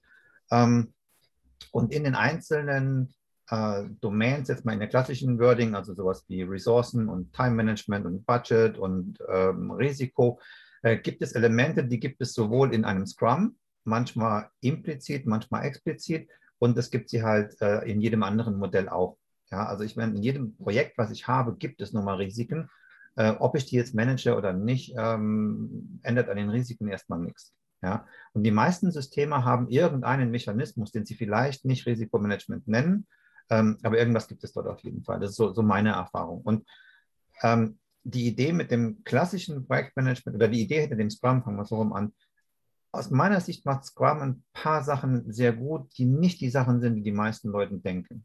Ja, also Scrum mit der Agilität, man, man muss da keine Ziele setzen oder man ist da flexibel, was die Anforderungen angeht. Meiner Meinung nach ist das alles nicht die Magie, die Scrum mitbringt, sondern Scrum verhindert einigermaßen gut, dass die Leute in die Domains, in die Hoheit von anderen Leuten reinmanagen, nenne ich das immer. Ja? ähm, und das heißt, ähm, die, die Lehre bei, bei, bei meinen Mitarbeitern, das Feedback, was ich von meinen Mitarbeitern bekomme, ist, gerade wenn die sehr gut sind, dann sagen die, geh mal weg mit dem Projektmanagement-Zeug. Der Projektmanager entscheidet eh meistens nur Käse. Ja? Und er soll halt die Leute entscheiden lassen, die wissen, wie das geht. Und deswegen, ähm, das ist für mich so ein, so ein Part, den ich sehr gut finde. Ich als Projektmanager habe natürlich durchaus eine andere Meinung, aber ähm, ich verstehe, dass das der, der Teil ist, der in den Projektteams zum Beispiel sehr viel Overhead verhindert, ja, indem man nicht großartige Spezifikationen schreibt, das wäre jetzt so ein bisschen in der Wasserfallwelt, nicht ähm, Leute im Projekt mitschleppt, die gar nichts zu dem Ergebnis beitragen, ähm, Ergebnisse lange projiziert, aber nicht prüft, ob die tatsächlich eintreten. Also das sind so die Themen, die im Scrum meiner Meinung nach mh, hm, essentiell sind. Und äh, ich mache dann den Satz noch fertig, dann darfst du. Ähm, und die kollidieren überhaupt gar nicht mit, mit äh, klassischem Projektmanagement in meiner Denke. Ja. So, jetzt fertig. Ich, ich würde mal eine Brücke schlagen. Ähm, ja, das was für ein Scheißwitz. Ähm, zum Woll. Und zwar geht es um das Einzahlen auf ein Ziel. Wenn wir davon ausgehen, wir hätten das Ziel, sollte alles, was im Projekt stattfindet, auf dieses Ziel einzahlen. Ich nehme alles daraus, sage ich jetzt mal, ist die Zieldefinition eine gute, ist das Ziel überhaupt ein gutes, ist das was ethisch, ich nehme das ganze Gedönse raus. Ja? Genauso wie bei Woll. Ja? Es ist mein Ziel, Punkt aus. Ja? Ähm, und das steht, steht für mich und steht für sich. Das heißt, wer bei der Projektmannschaft mit dabei ist, sozusagen halt, ich nehme ein altes Wort, ist sozusagen ein Söldner, der halt sozusagen einsteht, auf dieses Projektziel zu erreichen. So, das wäre Punkt Nummer eins. So, alles, was wir an Frameworks, Methoden kennen, etc., sind, ist anders wie bei, wie so, wie so bei den Kinderfahrrädern. Ja, diese, diese, diese Hilfsdinger, die an den Seiten dran sind, ähm, damit die halt nicht umkippen, dass man, dass ich geführt werde beim Fahrradfahren. So ein bisschen. Ja, ähm, aus meiner persönlichen Sicht. Das sind Denkmodelle, das sind Raster, das sind bestimmte Schubladen, die mir eine Hilfe geben, eine Stütze geben, sage ich jetzt mal, mit dem Projekt mein Ziel zu erreichen. Das ist immer so mein Bild. So, und was hilft mir, was hilft mir nicht. So, und ähm, in der Software waren klassische, sehr groß hierarchisch angelegte, sehr groß vorplanende, sehr im Detail planende ähm, Verfahren halt nicht großartig erfolgreich. Also sie hatten in bestimmten Bereichen großartigen Erfolg, ja, also diverse Kampfflugzeuge oder was ich nie alles, was da jetzt mal erstellt worden ist mit klassischen Verfahren, ja, haben funktioniert. Also es funktioniert. Wir haben fliegende Flugzeuge, das hat funktioniert. So, aber einige Sachen funktionieren halt nicht so gut. So, und da wurde ja vor ein paar Jahren was erfunden, ja, um das halt beweglicher zu machen. So, und dann haben wir ein Extrem auf der anderen Seite. Wenn ich auf der einen Seite Stützräder halt habe, die, mich, äh, die mir helfen sollen, ich habe alles definiert, dann geht nichts schief. Jeder Millimeter ist geplant, ja, dann falle ich nicht um, das kann nicht passieren. Funktioniert nicht, weil es das nächste Stöckchen und der Plan ist dahin und ich falle hin. Ähm, dann gibt es aber das andere Extrem, ja, ähm, in Scrum. Und wenn ich das extrem spiele, also diese, den völlig, den Lean-Teil und nicht das über das, sondern ich habe nur noch das, ähm, dann kann ich genauso auf die Nase fallen, was ich in, in diversen Projekten links und rechts bei Kollegen oder Bekannten oder ähm, im Projektumfeld sehe. Mich interessieren nur Projekte, mich interessieren keine Produkte. Punkt. Da kommt eine Mannschaft rein, die irgendwie zusammengewürfelt wird. Ich weiß nicht, ob jemand von euch Freelancer drin ist. Ähm, das sind eure Kollegen, das ist dein Team.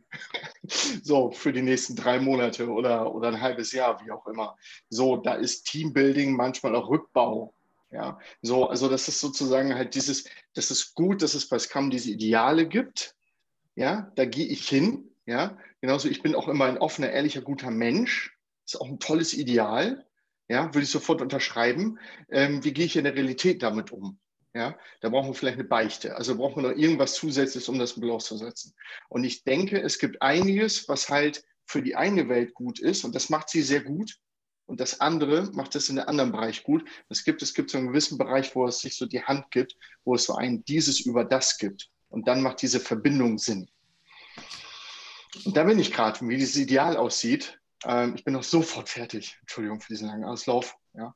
Ähm, da, da denke ich mir, da gibt es was von Ratiofahren, weil viele machen das eigentlich. Also jedes Mal, wie ich mit Leuten rede, ja, ich mache, also im Grunde genommen, also ich bin jetzt bei Agile Coach, aber ich äh, mache ein agilen Projekt und wir sehen zu, dass wir halt das Projekt gewuppt bekommen. Ja, wenn ich aber die Foren reinschaue, dann sehe ich sozusagen halt die Evangelien, die mich im, in der Reihenkultur nicht weiterbringen. So, Punkt. Also da bin ich gerade. Das ist so meine Ergänzung zu Frank. Das jetzt eine Ergänzung war, Frank, musst du entscheiden. Ja, ich bin, ich bin nicht ganz ähm, konform bei dem Bild, dass das nur Stützräder sind oder nur Rahmenbedingungen, weil das sind ja auch, zumindest mal auch, ähm, Tools und Methoden. Ähm, und die zum Beispiel jetzt in dem klassischen Projektmanagement, äh, Risikomanagement-Methoden, die es im Scrum schlicht nicht gibt. Also ich sehe da schon ein bisschen mehr als nur das, äh, das Thema. Und ich bleibe bei, bei dem einen Punkt, den du gesagt hast, ähm, auch anderer Meinung. Also die, ähm, die Projekte, die früher funktioniert haben und die jetzt irgendwie anders laufen, und das Thema Agilität hat meiner Meinung nach wirklich einen anderen, anderen also der, der, die Ursache, dass das funktioniert, ist eine andere, als man denkt. Ja, und die Ursache sind, sind zwei Sachen. Das eine ist, früher war es sehr, sehr aufwendig und man musste die Umsetzung planen, weil die erneute Umsetzung sehr teuer war. Ja, von der Softwareentwicklung über ein Flugzeug bauen, während in der Softwareentwicklung speziell ähm, einfach das Abreißen und Neubauen extrem billig geworden ist. Ja, und deswegen macht es gar keinen Sinn, sehr viel Aufwand in die Planung und Vorbereitung zu stecken, weil wenn ich hinten raus nichts sparen kann. Ja, das ist der eine Aspekt. Der, mh, hm, der zweite Aspekt, der so ein bisschen mit einhergeht, ähm, ist, dass die Leute, dass man, dass man es geschafft hat, zu viele Leute in die Projekte zu schaffen, reinzustecken, die nichts in dem Projekt zu suchen haben. Das ist so mein, mein das ist so, so eine, eine, eine Hidden, so ein Hidden Layer und Agilität. Hast du den zweiten nochmal? Also den wenn zweiten ich, Satz? Genau, also aus der, kommend aus der Historie, ja, wir bauen, wir bauen Flugzeuge oder Raketen, die auf den Mond fliegen, hat man sich eine Orga gebaut, die das finale Produkt durch maximale Vorbereitung ähm, versucht zu stabilisieren. Weil man weiß, hinten raus wird es extrem teuer. Wenn die Rakete mal gebaut ist und ich stelle fest, oh, das war nichts, dann habe ich Unmengen an Geld versenkt, ja, die ich dann nochmal neu machen muss. Und in diesem Konstrukt, in dieser Welt, in dieser klassischen Welt, ähm, haben sich viele Rollen gebildet, die, die, ähm, die darauf abzielen, das zu unterstützen. In der Softwareentwicklung brauche ich das alles nicht. Ja? In anderen Bereichen vielleicht auch. In der modernen Welt brauche ich das an vielen Stellen nicht. Das heißt, wenn ich, ähm, ich habe durch die, durch, die, durch die Historie sehr viele Menschen in so ein Projekt gesteckt, die alle in so einem Projekt heute keinen Mehrwert bringen. Machen wir das böse Beispiel, ein Requirements Engineer. Ein Requirements Engineer ist ein Relikt aus einer Zeit, als man Leute hatte, die die Requirements verstehen und Entwickler, die ganz viel Arbeit hatten, das in Lochkarten zu standen. Ja? Heute redet der, der Product Owner ist, bitte mit dem Entwickler. Der Entwickler ist intelligent und der versteht, was der meint und implementiert das. Fertig. End of process. Ja? Anforderung, Entwickler, nichts in between. Das ist der optimale Prozess. Und der Rest ist ähm, ja, ist, ist eine, eine aufgeblähte Organisation, die man gerne mit klassischem Projektmanagement verbindet, die aber eigentlich nichts damit zu tun hat. Die ist nur historisch in derselben Zeit entstanden. Das ist so mein Konflikt, wo ich sage, so ist ein bisschen schwierig zu erklären vielleicht, aber mhm. der, das ist historisch gleichzeitig entstanden, aber hat mit, mit dem modernen Projektmanagement überhaupt nichts zu tun.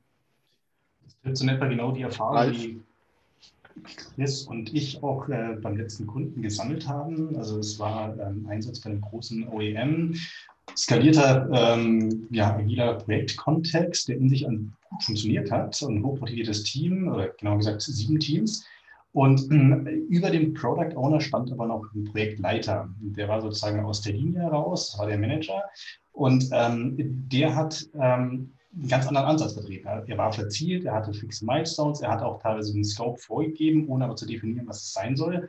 Null Toleranz gehabt äh, für Fehler, hat dann auch immer wieder die, die Zeremonien durchbrochen und hat dann auch null Respekt teilweise gehabt und hat dann vor versammelter Mannschaft den Product Owner niedergemacht.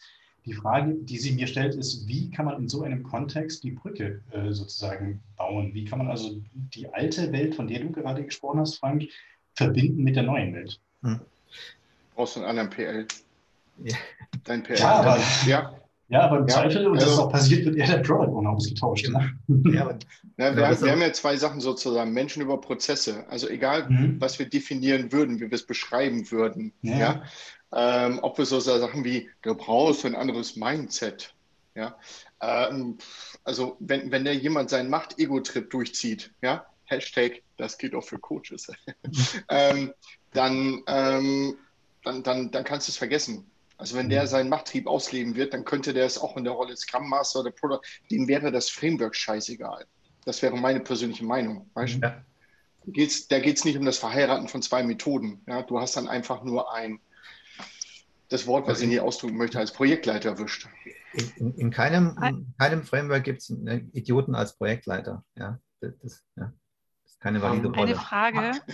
genau. Äh, ja, Aus eurer Diskussion geht ein bisschen heraus, dass, oder ich zumindest verstehe ich das aktuell, dass ihr bei einem Projekt immer davon ausgeht, dass es ein Team gibt, das nur auf diesem einen Projekt arbeitet. Oder ähm, weil bei uns ist es so, dass äh, gerade das Entwicklerteam auf mehreren Projekten oder für mehrere Projekte gleichzeitig arbeitet, beziehungsweise mehrere Entwicklerteams zahlen auf das gleiche Projekt ein und arbeiten gleichzeitig noch an mehreren Projekten. Also kennt ihr. Ich weiß, ob Scrum dann richtig ist. Ist, ja, ich bin jetzt gerade in diesem Meetup, weil wir äh, sprechen über äh, klassisch äh, ja. und äh, ja, Scrum und Agil zusammen. Also ähm, im Unternehmen wird übergreifend äh, größere Projekte, ich habe es auch im Chat geschrieben, ähm, größere Projekte eher, sage ich mal, wasserfalllastig äh, eingekippt und eingeplant und priorisiert und viel gemanagt. Und unten in der äh, Maschine wird versucht ähm, oder wollen wir eigentlich auch gerne mehr in Richtung Agilität und manche Teams arbeiten auch nach Scrum, manche mehr nach Kanban ähm, arbeiten. Und natürlich clasht das jetzt hier an äh, einigen Stellen. Ähm, deswegen wollte ich mir hier ein bisschen Inspiration suchen. Genau. Also, also ist es in anderen ist, Unternehmen mehr wirklich ein Projekt ist gleich auch ein fixes Projektteam? Oder ja, es kommt, also wie so immer im Leben, es kommt drauf an. Ich würde gerne, äh, ja. Stefan, ich würde ja, gerne Verteiler spielen an der Stelle, ähm, um auf Christine auch ihre Nachricht einzugehen. Das würde ja bedeuten, zu dem, was wir vorher gehört haben, oder Frage, äh, tauschen wir so lange den PL in Sebastian seinem Projekt aus, bis die Forderung nach einer Ressourcenplanung und nach einer Meilensteinplanung weg ist? Also bis da eine Person sitzt, die das nicht mehr will? Und zweite nein, Frage auch zu Christine, Ihrem Punkt. Reicht es, dass die Teams Scrum arbeiten möchten, Kanban arbeiten möchten? Also um dieses Möchten geht es mir, weil es gibt ja auch Methoden, um zu eruieren, welcher Ansatz der richtige ist. Das ist die zweite Facette in Ihrer Nachricht. Und der dritte ist das Thema Freiheit, das hat der Frank angesprochen. Wie viel darf von rechts und links da rein gemanagt werden? Und wie autonom sind denn jetzt die Teams zu dieser vertrackten Ressourcensituation, dass sie nicht nur gesplittet sind, sondern auch noch in mehrere Projekte reinarbeiten. Das sind jetzt vier Facetten. Das möchte ich als Verteiler mal kurz nur outlinen, dass wir die jetzt haben und dass wir die jetzt Stück für Stück auseinanderzupfen. Wer möchte? Also das wäre denn das erste Thema. Ich würde, ich würde mal anfangen, dass wir dort vielleicht ein paar Begriffe sortieren müssen. Ja? Ähm, also nur weil man Dinge Projekte nennt, sind es noch nicht zwingend Projekte.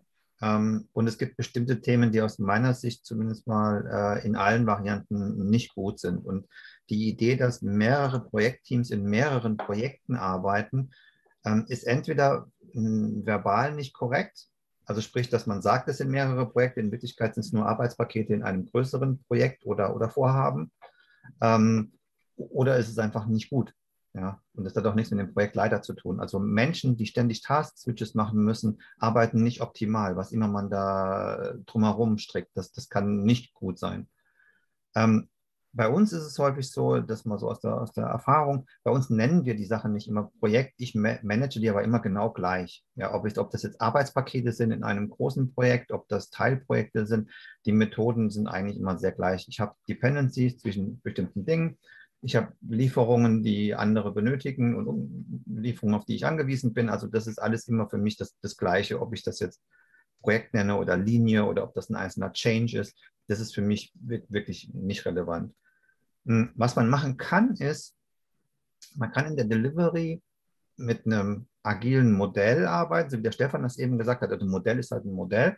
Äh, ich kann zum Beispiel sagen, ich mache Scrum in der Implementierung, während drumherum ein sehr stark wasserfallmäßiges Modell herrscht. Das ist ja dieses Hybridmodell, über das wir versuchen hier auch äh, zu reden. Das ist einfach die Realität. Man hat normalerweise nie eine Welt, die rundherum überall gleich agil getaktet ist. Das, das glaube ich, ist, das gibt es nicht. Ja. Und dort gibt es ähm, eher Schnittstellen als prinzipielle Sachen, die sich ausschließen. Das heißt, wenn ich, wenn ich äußere, zum Beispiel, wenn ich ein anderes Projektteam habe, was auf eine Lieferung von mir angewiesen ist und ich bin in einer zwei Wochen Sprinttaktung, dann muss ich irgendwie gucken, wie ich die Liefer Lieferung zu dem anderen Projekt darstelle. Ja? Und es macht mein Team nicht schneller, wenn ich sage, oh, jetzt mache ich auch drei Wochen Sprints oder was immer ich dort von außen habe, macht mein Team nicht zwingend schneller. Wenn für mein Team eine Zwei-Wochen-Taktung optimal ist, dann muss der Projektmanager drumherum sagen, okay, in welchen von den Zwei-Wochen-Taktungen habe ich denn vielleicht die, die richtige Lieferung für das andere Team? Also als eine mögliche Lösung. Ich würde ganz gewagt noch einen Schritt zurückgehen. Ähm, also wenn, es, wenn die Debatte losgeht über Agilität, whatever this is, ähm, dann haben wir Scrum, wir haben Kanban, wir haben Extreme Programming, dat, dat, dat, dat, dat, dat. Ja? Ähm, dann haben wir Projektmanagement, wir haben Prince V2, wir haben das V-Modell, wir haben das V-Modell in unterschiedlichen Iterationen. Dat, dat, dat, dat, dat. Es gibt weder die Agilität, es gibt wieder das Projektmanagement. So, Punkt Nummer eins. So, Punkt Nummer zwei ist, ähm, also was macht denn jetzt mein Pro Project Manager und wird das jetzt besser, wenn ich jetzt den durch irgendwie den Hupdi-Dupdi-Klaus, also die neue Rolle ersetze? Wird das mit dem besser?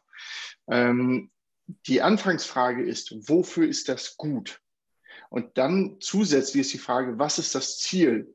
Also was möchte ich mit dem Projekt erreichen? Was, welche Ziele sollen vielleicht erreicht werden? Was habe ich für Ressourcen? Wie möchte ich das bündeln? Wie sieht meine Organisationsform aus, um mein Ziel zu erreichen? Das ist die Frage. So, und im Militär gibt es, um mal um ein klassisches Bild zu nehmen, ja, ähm, aber wo es halt wirklich um was geht, und zwar quasi wirklich um was in das Unternehmertum, unterschiedliche Organisationsformen, wo unterschiedliche Ziele. So, die agieren nicht gleich. So, und äh, wenn etwas mit schneller Kommunikation einhergehen muss, ist das Militär das aller, die allerersten, die es adaptieren. Ja, wenn es um dann geht, aber schnelle Entscheidungen durchzuziehen, dann werden sie auf einmal strunzhierarisch. Das heißt, sie passen sich je nachdem an. So, und genauso ist das halt auch. Es gibt nicht die Methode für alles. So, genauso wie für Projekte. So, und da wäre halt sozusagen halt der Punkt, wo ich ansetzen würde. Was passt zu diesem Projekt, zu diesem Ziel? Ja, was sind die Anforderungen des Projektes und es daraus ableiten. Es gibt nichts, nie was Generelles, sondern es ist das, was ich sozusagen anwenden kann. sind wir, ich persönlich wieder bei meinen Stützrädern. Wo möchtest du hin? Möchtest du durch den Wald fahren? Sind diese klassischen Dinger vielleicht eine scheiß Idee? Brauchst du halt was anderes. Vielleicht dann nicht mal ein Fahrrad. Ja. So, und ähm, dann ist sozusagen halt, wo, woraus kann ich mich daraus dann halt bedienen? Und da ist vielleicht Scrum nicht die Antwort obwohl ich das gerade selber miteinander verheiraten möchte. Ja, aber in dem Fall war das die, die Anfrage hatte ich schon mal, das hatten wir mit einer anderen Firma halt auch. Ja, wenn du ähm, auf einmal anfängst, unterschiedliche Sachen in einem Team abzufrühstücken, ja, also mehrere, mehrere Ziele, mehrere wirklich Produkte, unterschiedliche Kunden, vielleicht externe Stakeholder, ähm, dann, dann ähm, sieht das Product Backlog nämlich genauso aus, weil es grundsätzlich nämlich die Spezifikation des Produktes darstellen sollte. So, und wenn du dann nämlich reinschaust und da hast du nämlich einen Kessel buntes, ja, viel Spaß. Also das lässt sich dann, dann, dann ist, ist dieses Werkzeug, was alles vereinfachen soll, das ist ja die Stärke von Scrum, ähm, dann, dann reicht das nicht mehr, dann brauchst du halt was anderes. Also, genau, also was, was man trotzdem machen kann, also in unserem Fall ist es so, wir haben mehrere Services, die kann man in einem Team ganz gut machen. Wenn oben drüber, ähm, sage ich mal, ein Owner ist, der die Themen priorisieren kann. Ja, wenn die Priorisierung okay ist, dann, dann macht das Sinn und die Methoden drumherum, ob das jetzt Kanban ist oder, oder Scrum, die sollen eigentlich dafür sorgen, dass die Leute we möglichst wenig Task-Switches machen müssen. Ja, die Leute sollen möglichst an ihren Themen dranbleiben können und nicht ständig von A nach B springen. Welche Methodik da am besten ist, hängt ein bisschen von dem Kontext ab, aber ich glaube, die, die, die meisten Methoden sind dort ähm, ähnlich ja. unterwegs. Ja. Also die Frage ist ja, welches Ziel, äh, Christine, Christiane? Christine. Ja? Christine, ja. Ähm, ja, also wenn ihr sagt, also wir möchten das jetzt agil machen, ja, nochmal zu fragen, was möchten wir erreichen?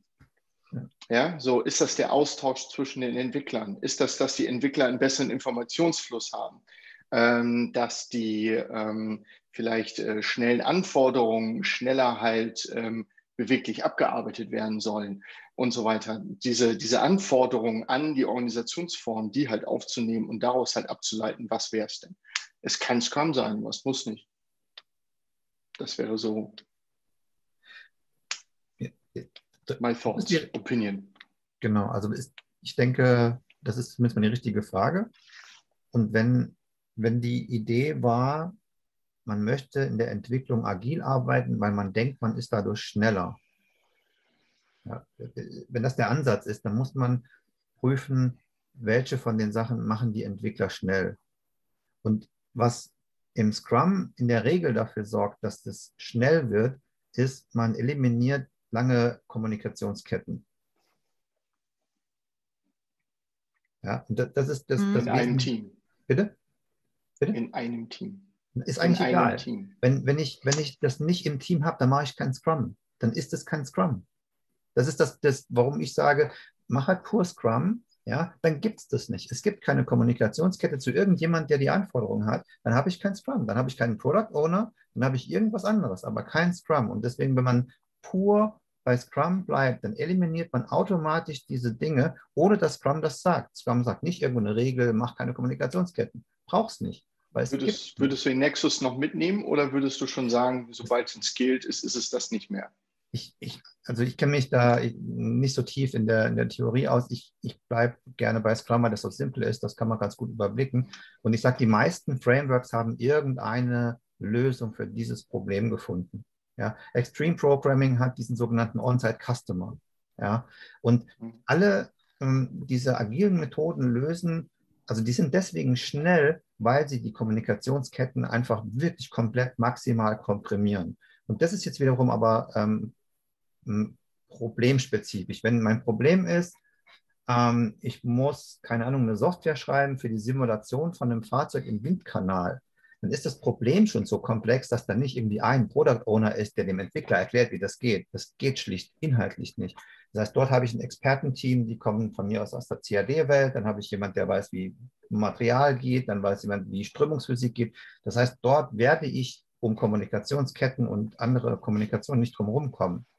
Und das muss man dann wiederum anpassen. Bei den meisten klassischen Business-Problemen ist es allerdings super, super simpel. Ja, die Business-Probleme sind meistens, ich will niemand zu nahe treten, aber die sind nicht besonders schwierig.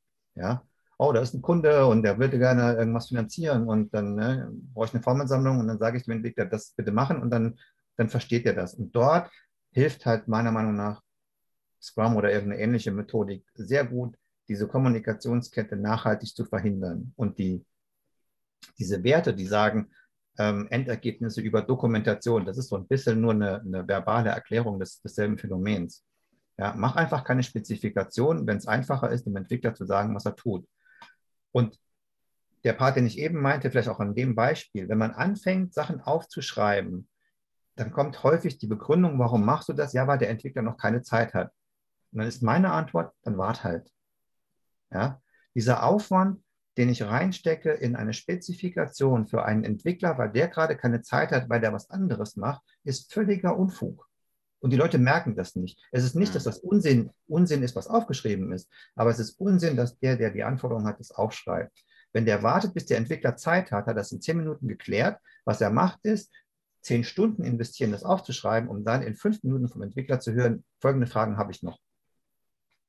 Und das ist, was agile Methoden und ein Scrum-Setup in der Regel ganz nachhaltig verhindert.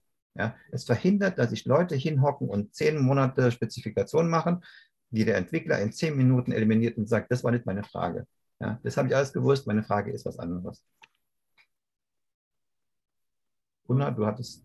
Ja, ja ich komme. Ich, Gunnar, ich würde äh, ganz, da, darf ich dich trotzdem kurz unterbrechen? Als Moderator ist es meine Pflicht, jetzt kurze Resonanz zu spüren bei Christine, die jetzt sehr viel gehört ja. hat. Ja. Ähm, weil wir aber konkret über ihren Kontext sprechen, würde mich jetzt kurz interessieren. Vielen Dank. Was, was bringt dir das jetzt an Orientierung, bevor wir Gunnar reinbringen? Mhm. Also ich merke einfach, äh, es ist sehr konfus bei uns. äh, weil ich kam jetzt gerade nochmal auf äh, andere Punkte bezüglich äh, Kommunikation und äh, ich habe eher das Gefühl, ähm, es wird, wir wollen immer sehr viel spezifizieren, möglichst äh, viel analysieren vorab, äh, damit man, wenn man tatsächlich in die Umsetzung geht, wirklich nur noch quasi coden muss. Also wenig Kommunikation eigentlich während dem Doing. Ähm, ich würde gerne Unterne das Unternehmen äh, umkrempeln, aber das geht wahrscheinlich nicht so einfach. ähm, und da muss ich noch äh, länger herumfeilen und, und schauen, ja. Weil teilweise auch unsere Systeme wohl nicht so gemacht sind, dass ähm, eben mehrere Teams da einfach quasi Dinge verändern können und deswegen, ja bin ich da auch noch nicht so tief drin, wie alles zusammenhängt. Äh, aber es ist sehr schwer, weil wir managen sehr viel um des Managen Willens, äh, bis es dann überhaupt irgendwann umgesetzt wird. Und gefühlt ist sehr viel Frustration da, weil gefühlt immer alles lange dauert. Wenn du, wenn du magst, kannst du mich auch mal direkt kontaktieren, dann kann ich dazu zumindest mal ein paar Tipps geben. Nicht unbedingt Lösungen, aber ein paar Tipps. Unabhängig ja, sehr gerne. Vielen Dank, Frank. Vielleicht noch ein letzter Kommentar dazu, dann schweige ich auch für ewig. Klammer auf, was gelogen ist, Klammer zu. Ja. Ähm, messen. Ähm, was meine ich damit? Ähm, in eurem Ablauf, also ihr habt ein System und da passiert etwas, was vielleicht komisch ist und du möchtest irgendwas, irgendwie was ändern. So, das ist so ein bisschen wie wenn du in eine Autowerkstatt reingehst und würde sagen, irgendwie fährt das Ding langsam, irgendwie, keine Ahnung, ja. Und der, der, der Mechaniker würde dann irgendwie dann rumfuhren und kriegst es irgendwie wieder und das Ding ist irgendwie, irgendwie fährt das irgendwie. So, und die Frage ist halt, was, was läuft langsam, was sollte verbessert werden, woran sieht man das, wie kann ich das herantragen, also du bist auch in einem sozialen System, wie kann ich das irgendwie offenbaren, wer hat irgendwie in irgendetwas Interesse, was zu verbessern. So, solange etwas nicht gemessen wird, kannst du auch ein System nicht gescheit ändern. Das wäre jetzt so mein, mein Punkt. Mhm. Ja, also es gibt noch mehrere Menschen im Unternehmen, die diesen Drang auch verspüren. Ich bin da jetzt nicht die Einzige äh, und wir versuchen auch schon Dinge zu verbessern und zu messen, auch was so Zeiten anbelangt. Ähm, meine, ja. Empfehlung, meine Empfehlung ist, ist nicht, nicht anfangen mit Messen. Messen, also der, das ist zwar richtig, aber Messen ist schwer. Messen ist nicht einfach. For what? Das ist, äh, wir, wir fliegen mit Flugzeugen zum, äh, wir fliegen zum Mond, mein Freund. Messen ja, aber, aber nicht, jeder, nicht jeder fliegt zum Mond, ja. Also äh, Messen, wenn ich, wenn ich, ähm, wenn ich ein Flugzeug baue, dann kann ich relativ einfach sehen, ob es runterfällt, ja. Aber ähm, so messen in der Software, ob ich jetzt, ob das, was ich gemacht habe, effizient war, das ist äh, eine eigene Kunst. Also es ist der richtige. Du kannst den Prozess visualisieren und da gibt es ja auch was Agiles und das ist nicht Scrum. genau, also ich. Punkt. Hatten wir letztens auch einen Kurs zu. Ja. ja. Und es, es gibt, ja, du kannst es visualisieren, du kannst die Bottlenecks sehen, du kannst sehen, wie der Ablauf ist und du kannst ihn dann verbessern. Absolut. Ähm, da, darf ich also das mal reingrätschen? Ja, Logo können wir das, das, das Thema, das Thema, Gunnar, ich würde dich vorlassen, aber irgendwie, ich habe noch brennt was auf der Seele und dachte die ganze Zeit, ich bin gut, äh, ich bin gut erzogen und lassen wir alle ausreden. Äh, und besonders wenn die Fragen von einer Dame gestellt sind, irgendwie dann grätsche ich da nicht rein. Aber jetzt, jetzt, jetzt spielt ihr, ihr zwei euch in die Bälle zu äh, und die Zeit läuft ab. Und ich hätte unbedingt noch auch ein paar Sachen noch, die ich loswerden will. Aber Gunnar, irgendwie, mach das. Mach du als erstens. Ich wollte nur sagen, wie also, ähm, Elmo, äh, wir, wir, gehen weiter. Ja. Ähm, das Problem bei mir ist es, wir haben ähm, Spezifikationen definiert, daran wird festgehalten. Und der, der im Markt ist oder der, der neu dazukommt, sagt, Leute, das passt hier nicht mehr. Und das wieder neu steuern, dass man nicht sklavisch, wir haben aber jetzt hier Maschinenbauunternehmen, lange Tradition, wir haben aber eine Spezifikation gemacht letztes Jahr. Sind Leute super, aber die war nicht, die hat das nicht abgedeckt, was eure Aufgabe war. So, und jetzt, dass man Mittel kriegt, das, ähm, um die Leute auch mitzunehmen, nicht zu überfahren, zu sagen, ihr müsst nachsteuern.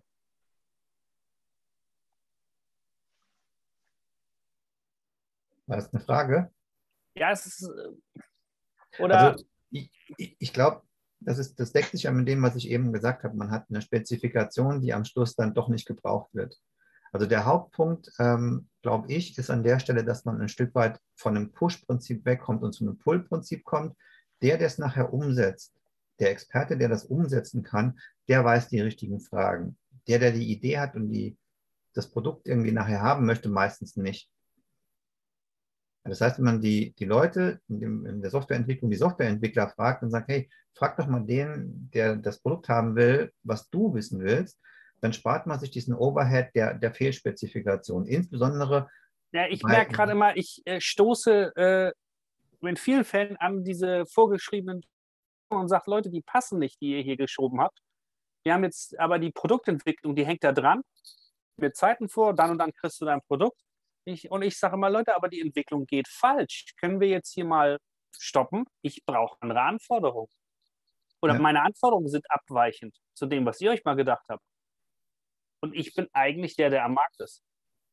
Dann braucht es einen agilen Wert, der heißt Mut.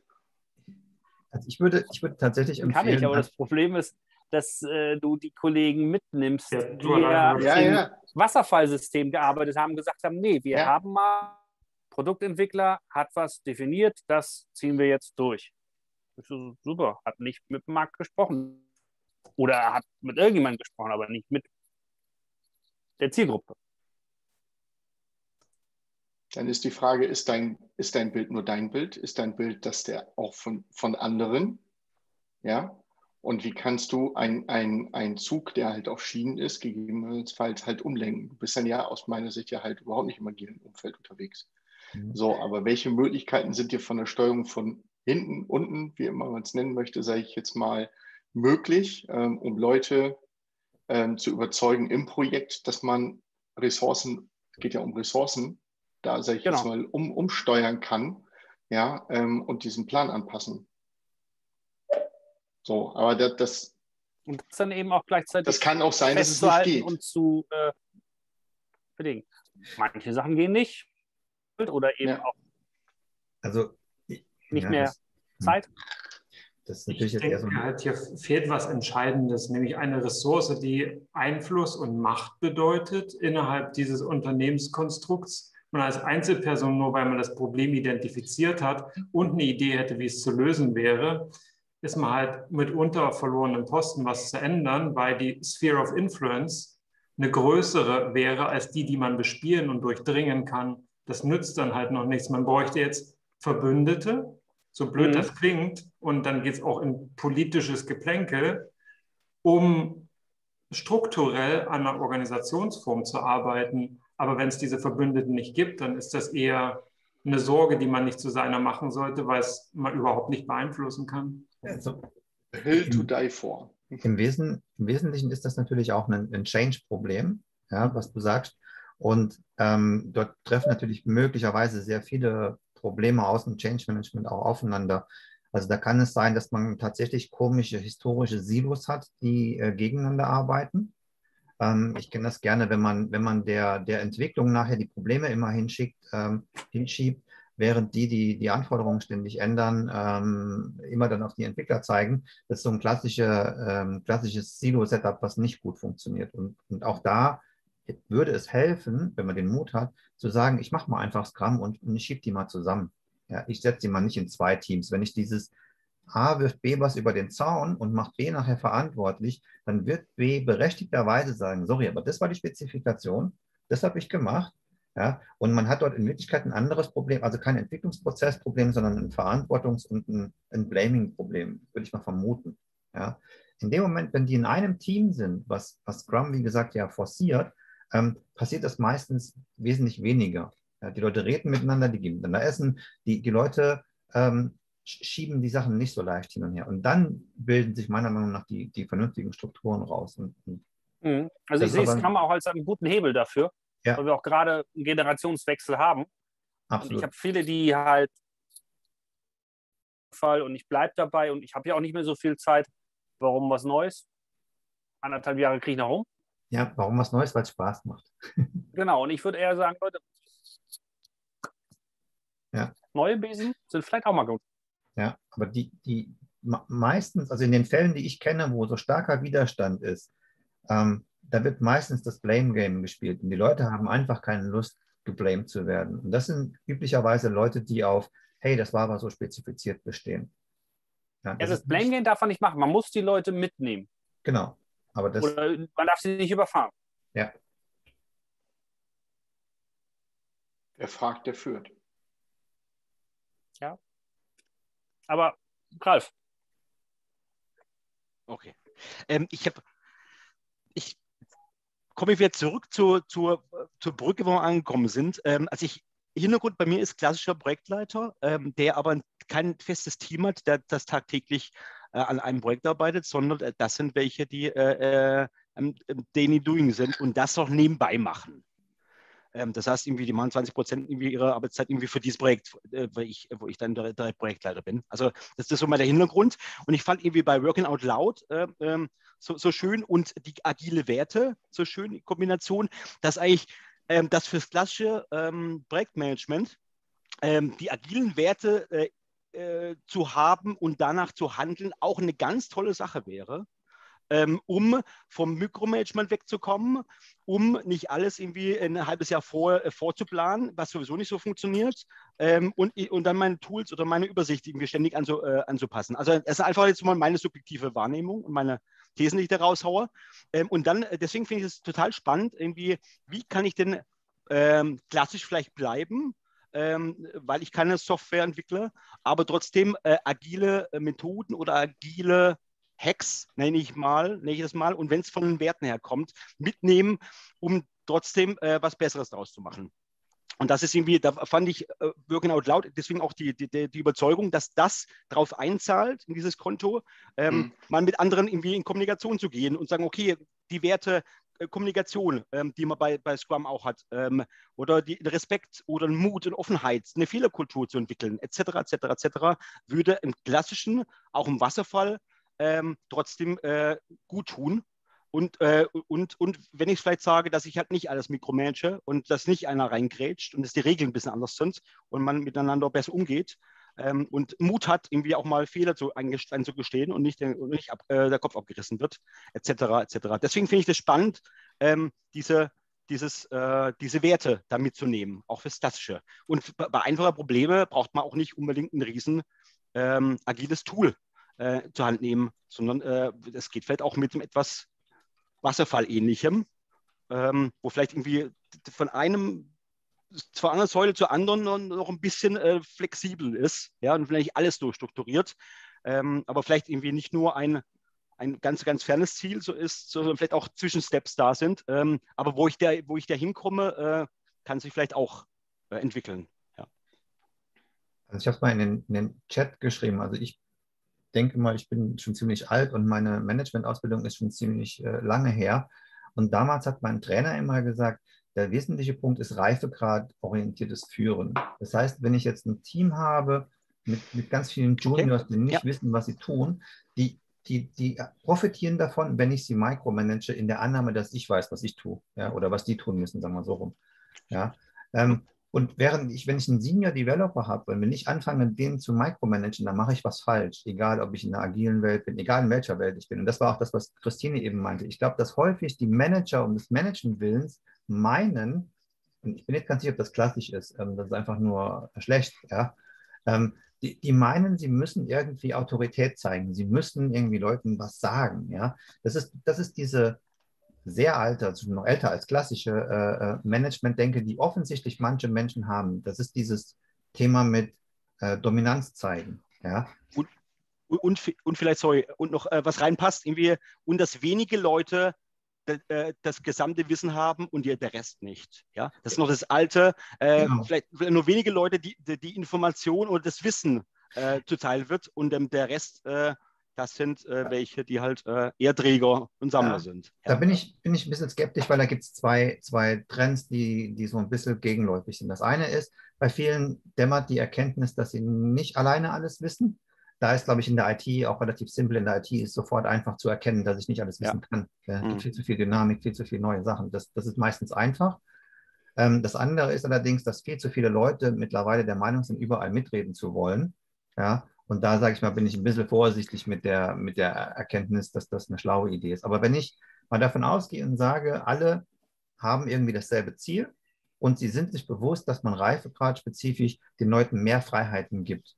Ja, dass ich sage, im Senior, dem erkläre ich eben nicht jeden Handschlag, Während ich dem Junior, ich sag mal ganz äh, wie früher einem Lehrling, ja, dem muss ich halt mal beibringen, wie das geht. Und dann sage ich ihm natürlich häufigere Schritte und ich kontrolliere auch häufiger, ob das richtig ist. So wie mein Trainer gesagt hat, catch them at being good.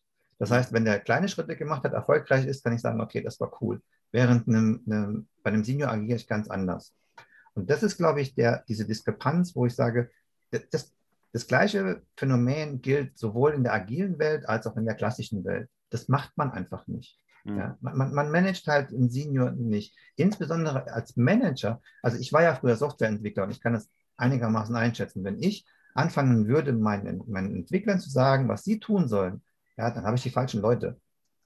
Ja, so nebenbei als, als Ergänzung, Frank, das gleiche gilt nicht nur für eine Person situativ führen, ja sondern ein, also wenn ich ja teamorientiert denke, ein Team situativ führen. Ja. So, das heißt also auch hier habe ich eine, ne, ne, mehr, also ich hatte ja letztens so dieses so, normalerweise habe ich im Agieren Manifest immer dieses das mehr als das, das mehr als das, das mehr als das. Ja, Hirntote denken das. Ja, so und ähm, in, in der Selbstorganisation über ja, äh, Außenorganisation ja, oder wie, wie immer wir es nennen wollen. Ich habe da immer noch kein schlaues Wort. Ja, also herzlich eingeladen, dafür ein schlaues Wort zu finden. Ja, Führerschaft, keine Ahnung. Ja, so. Aber wenn Selbstorganisation in einem Team nicht schafft, ja, wenn du denkst, da soll es hin, da rennt die Rasselbande hin.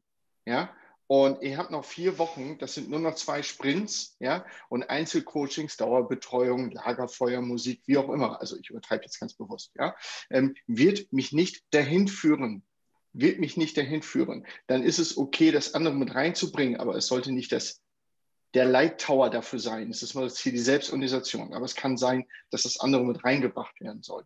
So fürs Team. Also situativ für das Team und das eine mehr als das, aber halt die Balance. Und wo diese Balance ist, ist in der Situation, hängt von der Situation und hängt von den Leuten ab, hängt vom Kontext ab. Mhm. Da kriegst du keine Matheformel raus.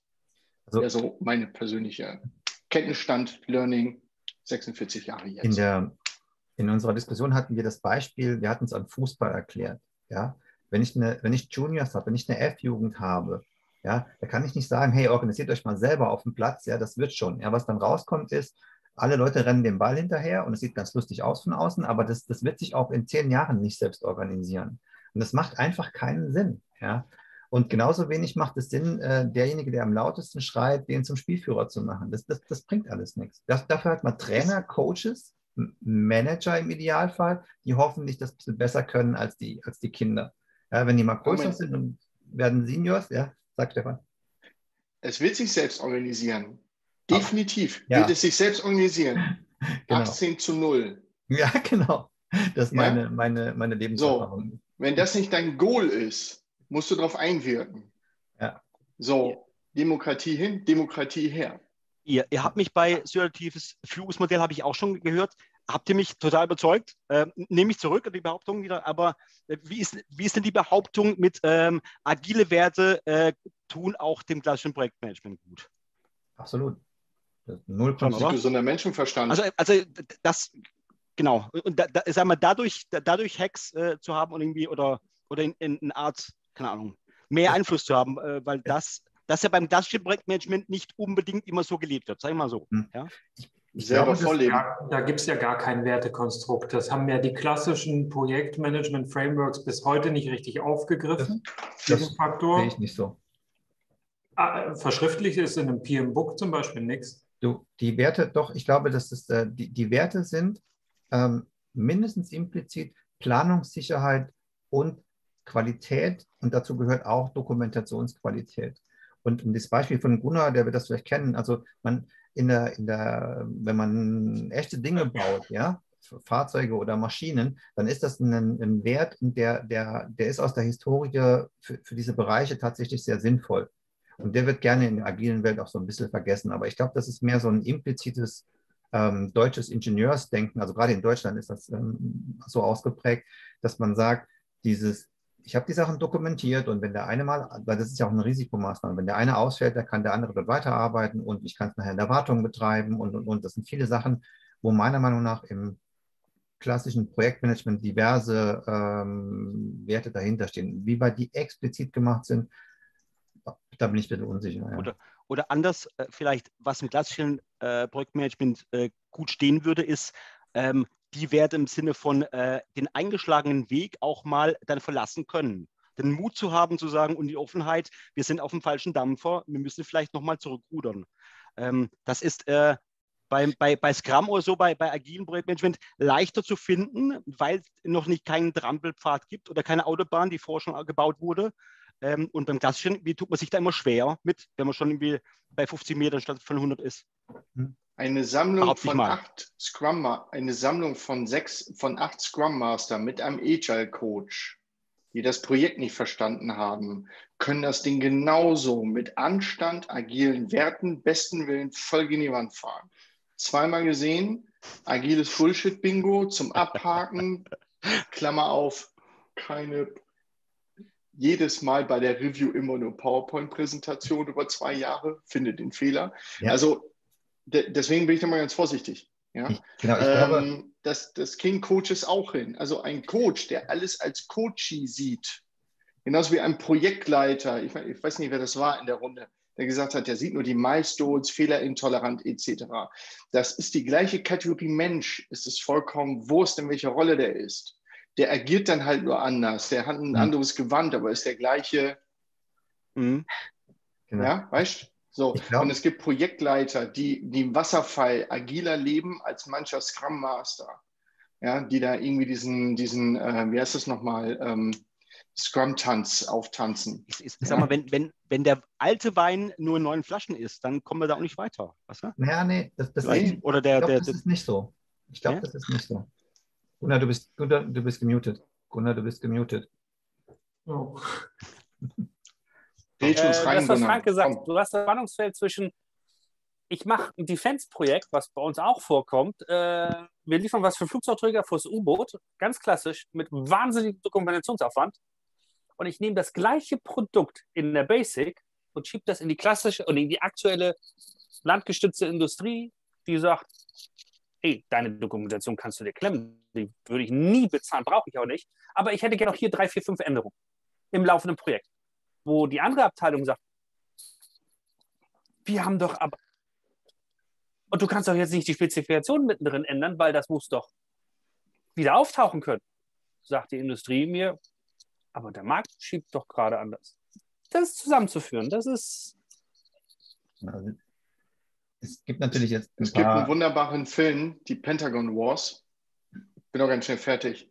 Kann ich nachher, ich suche es mal raus, schieb's mal rein. Da ging es um einen Panzer.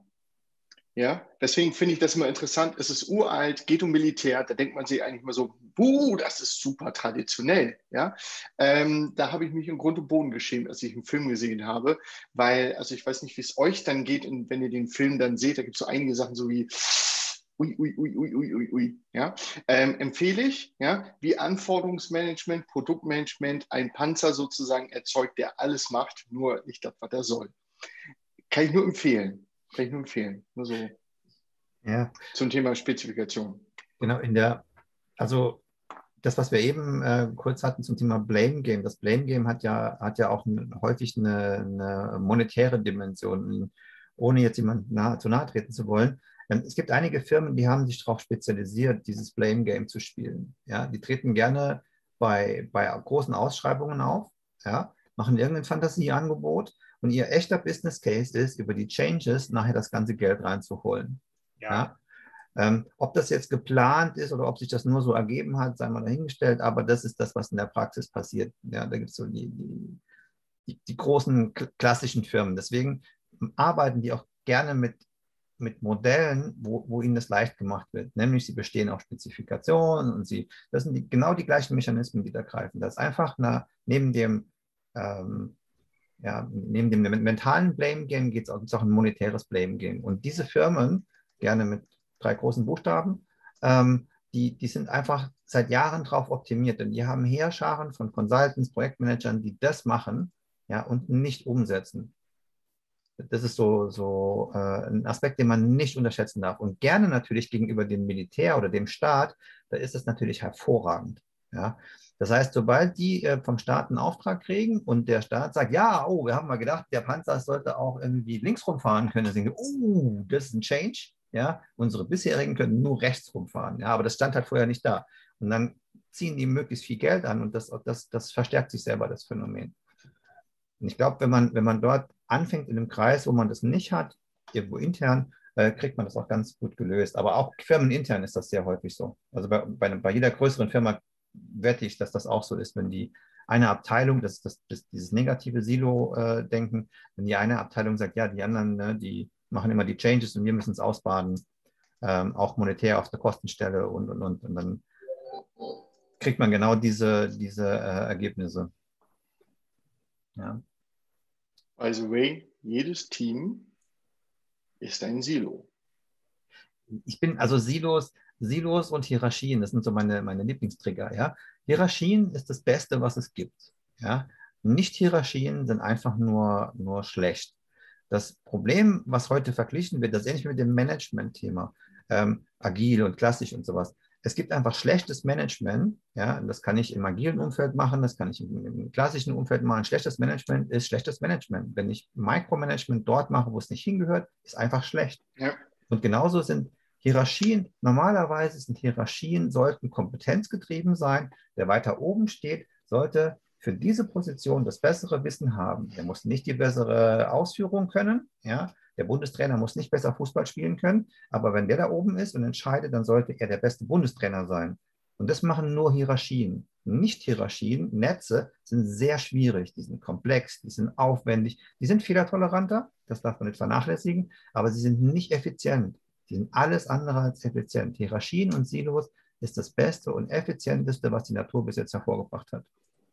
Ja, und das ist, ähm, wenn die nicht funktionieren, dann ist was anderes falsch. Aber nicht das Konzept. Also in, in unserem Fall zum Beispiel, häufig sind die Abteilungsschnitte falsch. Die sind aus irgendwelchen Gründen so, wie sie sind. Und die sind einfach Käse. Das Thema DevOps ist so ein Beispiel, wenn ich Development von Operations trenne, wenn ich da zwei Silos draus mache, das ist Käse. Ja, nicht Silos sind das Problem. Diese spezifischen Silos sind das Problem. Ja. Es kommt auf dein Service-Level drauf an. Das ist geil. Die sie auch mal schlafen haben, die Jungs. Ja, genau. Also war, das ist ein anderes Thema. Ja, ja, aber das, das, ist genau das Thema. Nee, das ist genau das. Das ist ein gutes Thema. Also DevOps ist ein Der gutes 24-Stunden-Wache DevOps-Ingenieur genau. ist, glaube ich, auch ein. Ja, nee, aber das ist, das ist ein sehr gutes Beispiel. DevOps, da sieht man diese Widerstände sehr, sehr häufig. Wenn ich anfange und sage, ich will Entwicklung und äh, Operations zusammenführen, dann kommen viele Entwickler und sagen, ja und so, weil tatsächlich muss irgendjemand mal 24-7 äh, darstellen, eventuell. Und dann heißt das am Wochenende ja. Dienst machen. Und dann sagt der geschmeidige Entwickler, ja, pff, am Wochenende, das ist aber irgendwie doof, das macht ja Operations, ja. Und dann habe ich diese, dieses Blame Game, ja. Der Operations-Mensch sagt, ey, ich muss am Wochenende arbeiten, weil du Mist entwickelst, ja. Und dann geht's los, ah, aber die Spezifikation sagt das und das. Schiebt man die zusammen in ein Team und sagt, was immer ihr tut, ihr macht gemeinsam die Wochenenddienste und dann fängt der Entwickler an, vernünftigen Code zu schreiben. Das geht instant. Oder ja. Operations ist in Indien. Ja, ja, oder genau, einfach die mal in ein Team, ihr geht gemeinsam Mittagessen, ja, und ihr macht kein Blaming per Ticket, ja, redet miteinander und dann hört das einfach auf. Und das Problem ja, ist aber nicht, eine gewisse Größe kannst du es vergessen. Ich sage, also ich, ich, ich, ich habe dann immer das Gefühl, ich klinge immer wieder wie der Onkel, der für, die, für das klassische Projektsystem sozusagen stimmt. Ja. Ähm, aber ich glaube, deswegen finde ich es halt so interessant, wie kriege ich es da rein, ja, wo der Level halt ist. Also ein Freund von mir, der ist sozusagen halt äh, Scrum Master halt und ähm, der rennt sozusagen halt bei einer, bei einer Krankenkasse rum, weil er halt nicht klein und, und, und baut da halt Apps. So, und jedes Mal, wenn ich mit ihm sozusagen über Skalierung, Abhängigkeiten, Service-Level und so weiter rede, sagt er immer, ja ein Team du darfst keine Abhängigkeiten haben. Ich so, die Antwort ist auf der einen Seite toll, aber für eine App irgendwie passt das. Ja, aber für alles andere, für das, woran wir gerade schrauben, kannst du es vergessen. Du hast harte Abhängigkeiten, kriegst du nicht aufgelöst, du hast die Service-Level und das musst du alles erfüllen. Und da, ich krieg den Counter runter, ne? Ja, okay, danke. Und ähm, ähm, das reicht dann einfach nicht. Und, äh, aber es, es kann trotzdem Agilität oder agile Methoden und Werte helfen, es zu unterstützen. Aber allein zu 100 Prozent reicht es nicht. Es hilft nicht. Da braucht es was dazwischen. So. Sogar ein richtig schöner Schlusssatz geworden. Danke. ähm, tatsächlich möchte ich den zeitlichen Rahmen nicht überstrapazieren, denn wenn sich alle merken, das geht immer drüber, bis wir auf den Punkt kommen, ähm, dann kommt niemand mehr. Deswegen würde ich ganz gerne, wir haben ja auch sechs Minuten später gestartet, weil gewartet, dass alle auch da sind, an der Stelle hier versuchen, so eine Art Zwischenetappenziellinie zu malen auf dem Boden. Ähm, dahingehend, wie knüpfen wir denn da sinnvoll an? Weil ich denke, es ist uns noch nicht konkret genug gelungen, um zu gucken, wie docken jetzt Scrum und PM aneinander an.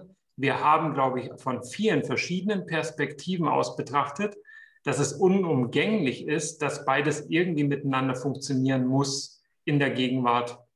Und dass es auch Situationen und Anwendungsfälle gibt, in denen das vielleicht reingezwungen wird und gar nicht der richtige Ansatz wäre. Aber die würde ich mal ausklammern wollen und hm. eher auf eine Situation fokussieren. Und vielleicht gelingt uns das beim nächsten Mal, dann doch das Beispiel herzunehmen mit der Waschstraße. Sie, das Projekt so zu designen, dass wir Projektmanagement und Scrum brauchen, mit den Erkenntnissen, wie muss es denn dann designt sein, um dann zu sagen, wie docken die aneinander an. Wer ist mit dabei? Eins, war das eine Frage? Dann ich. Ja, gut. Dann wäre Lass uns als Moderator mich und Frank auch jederzeit muten. ja.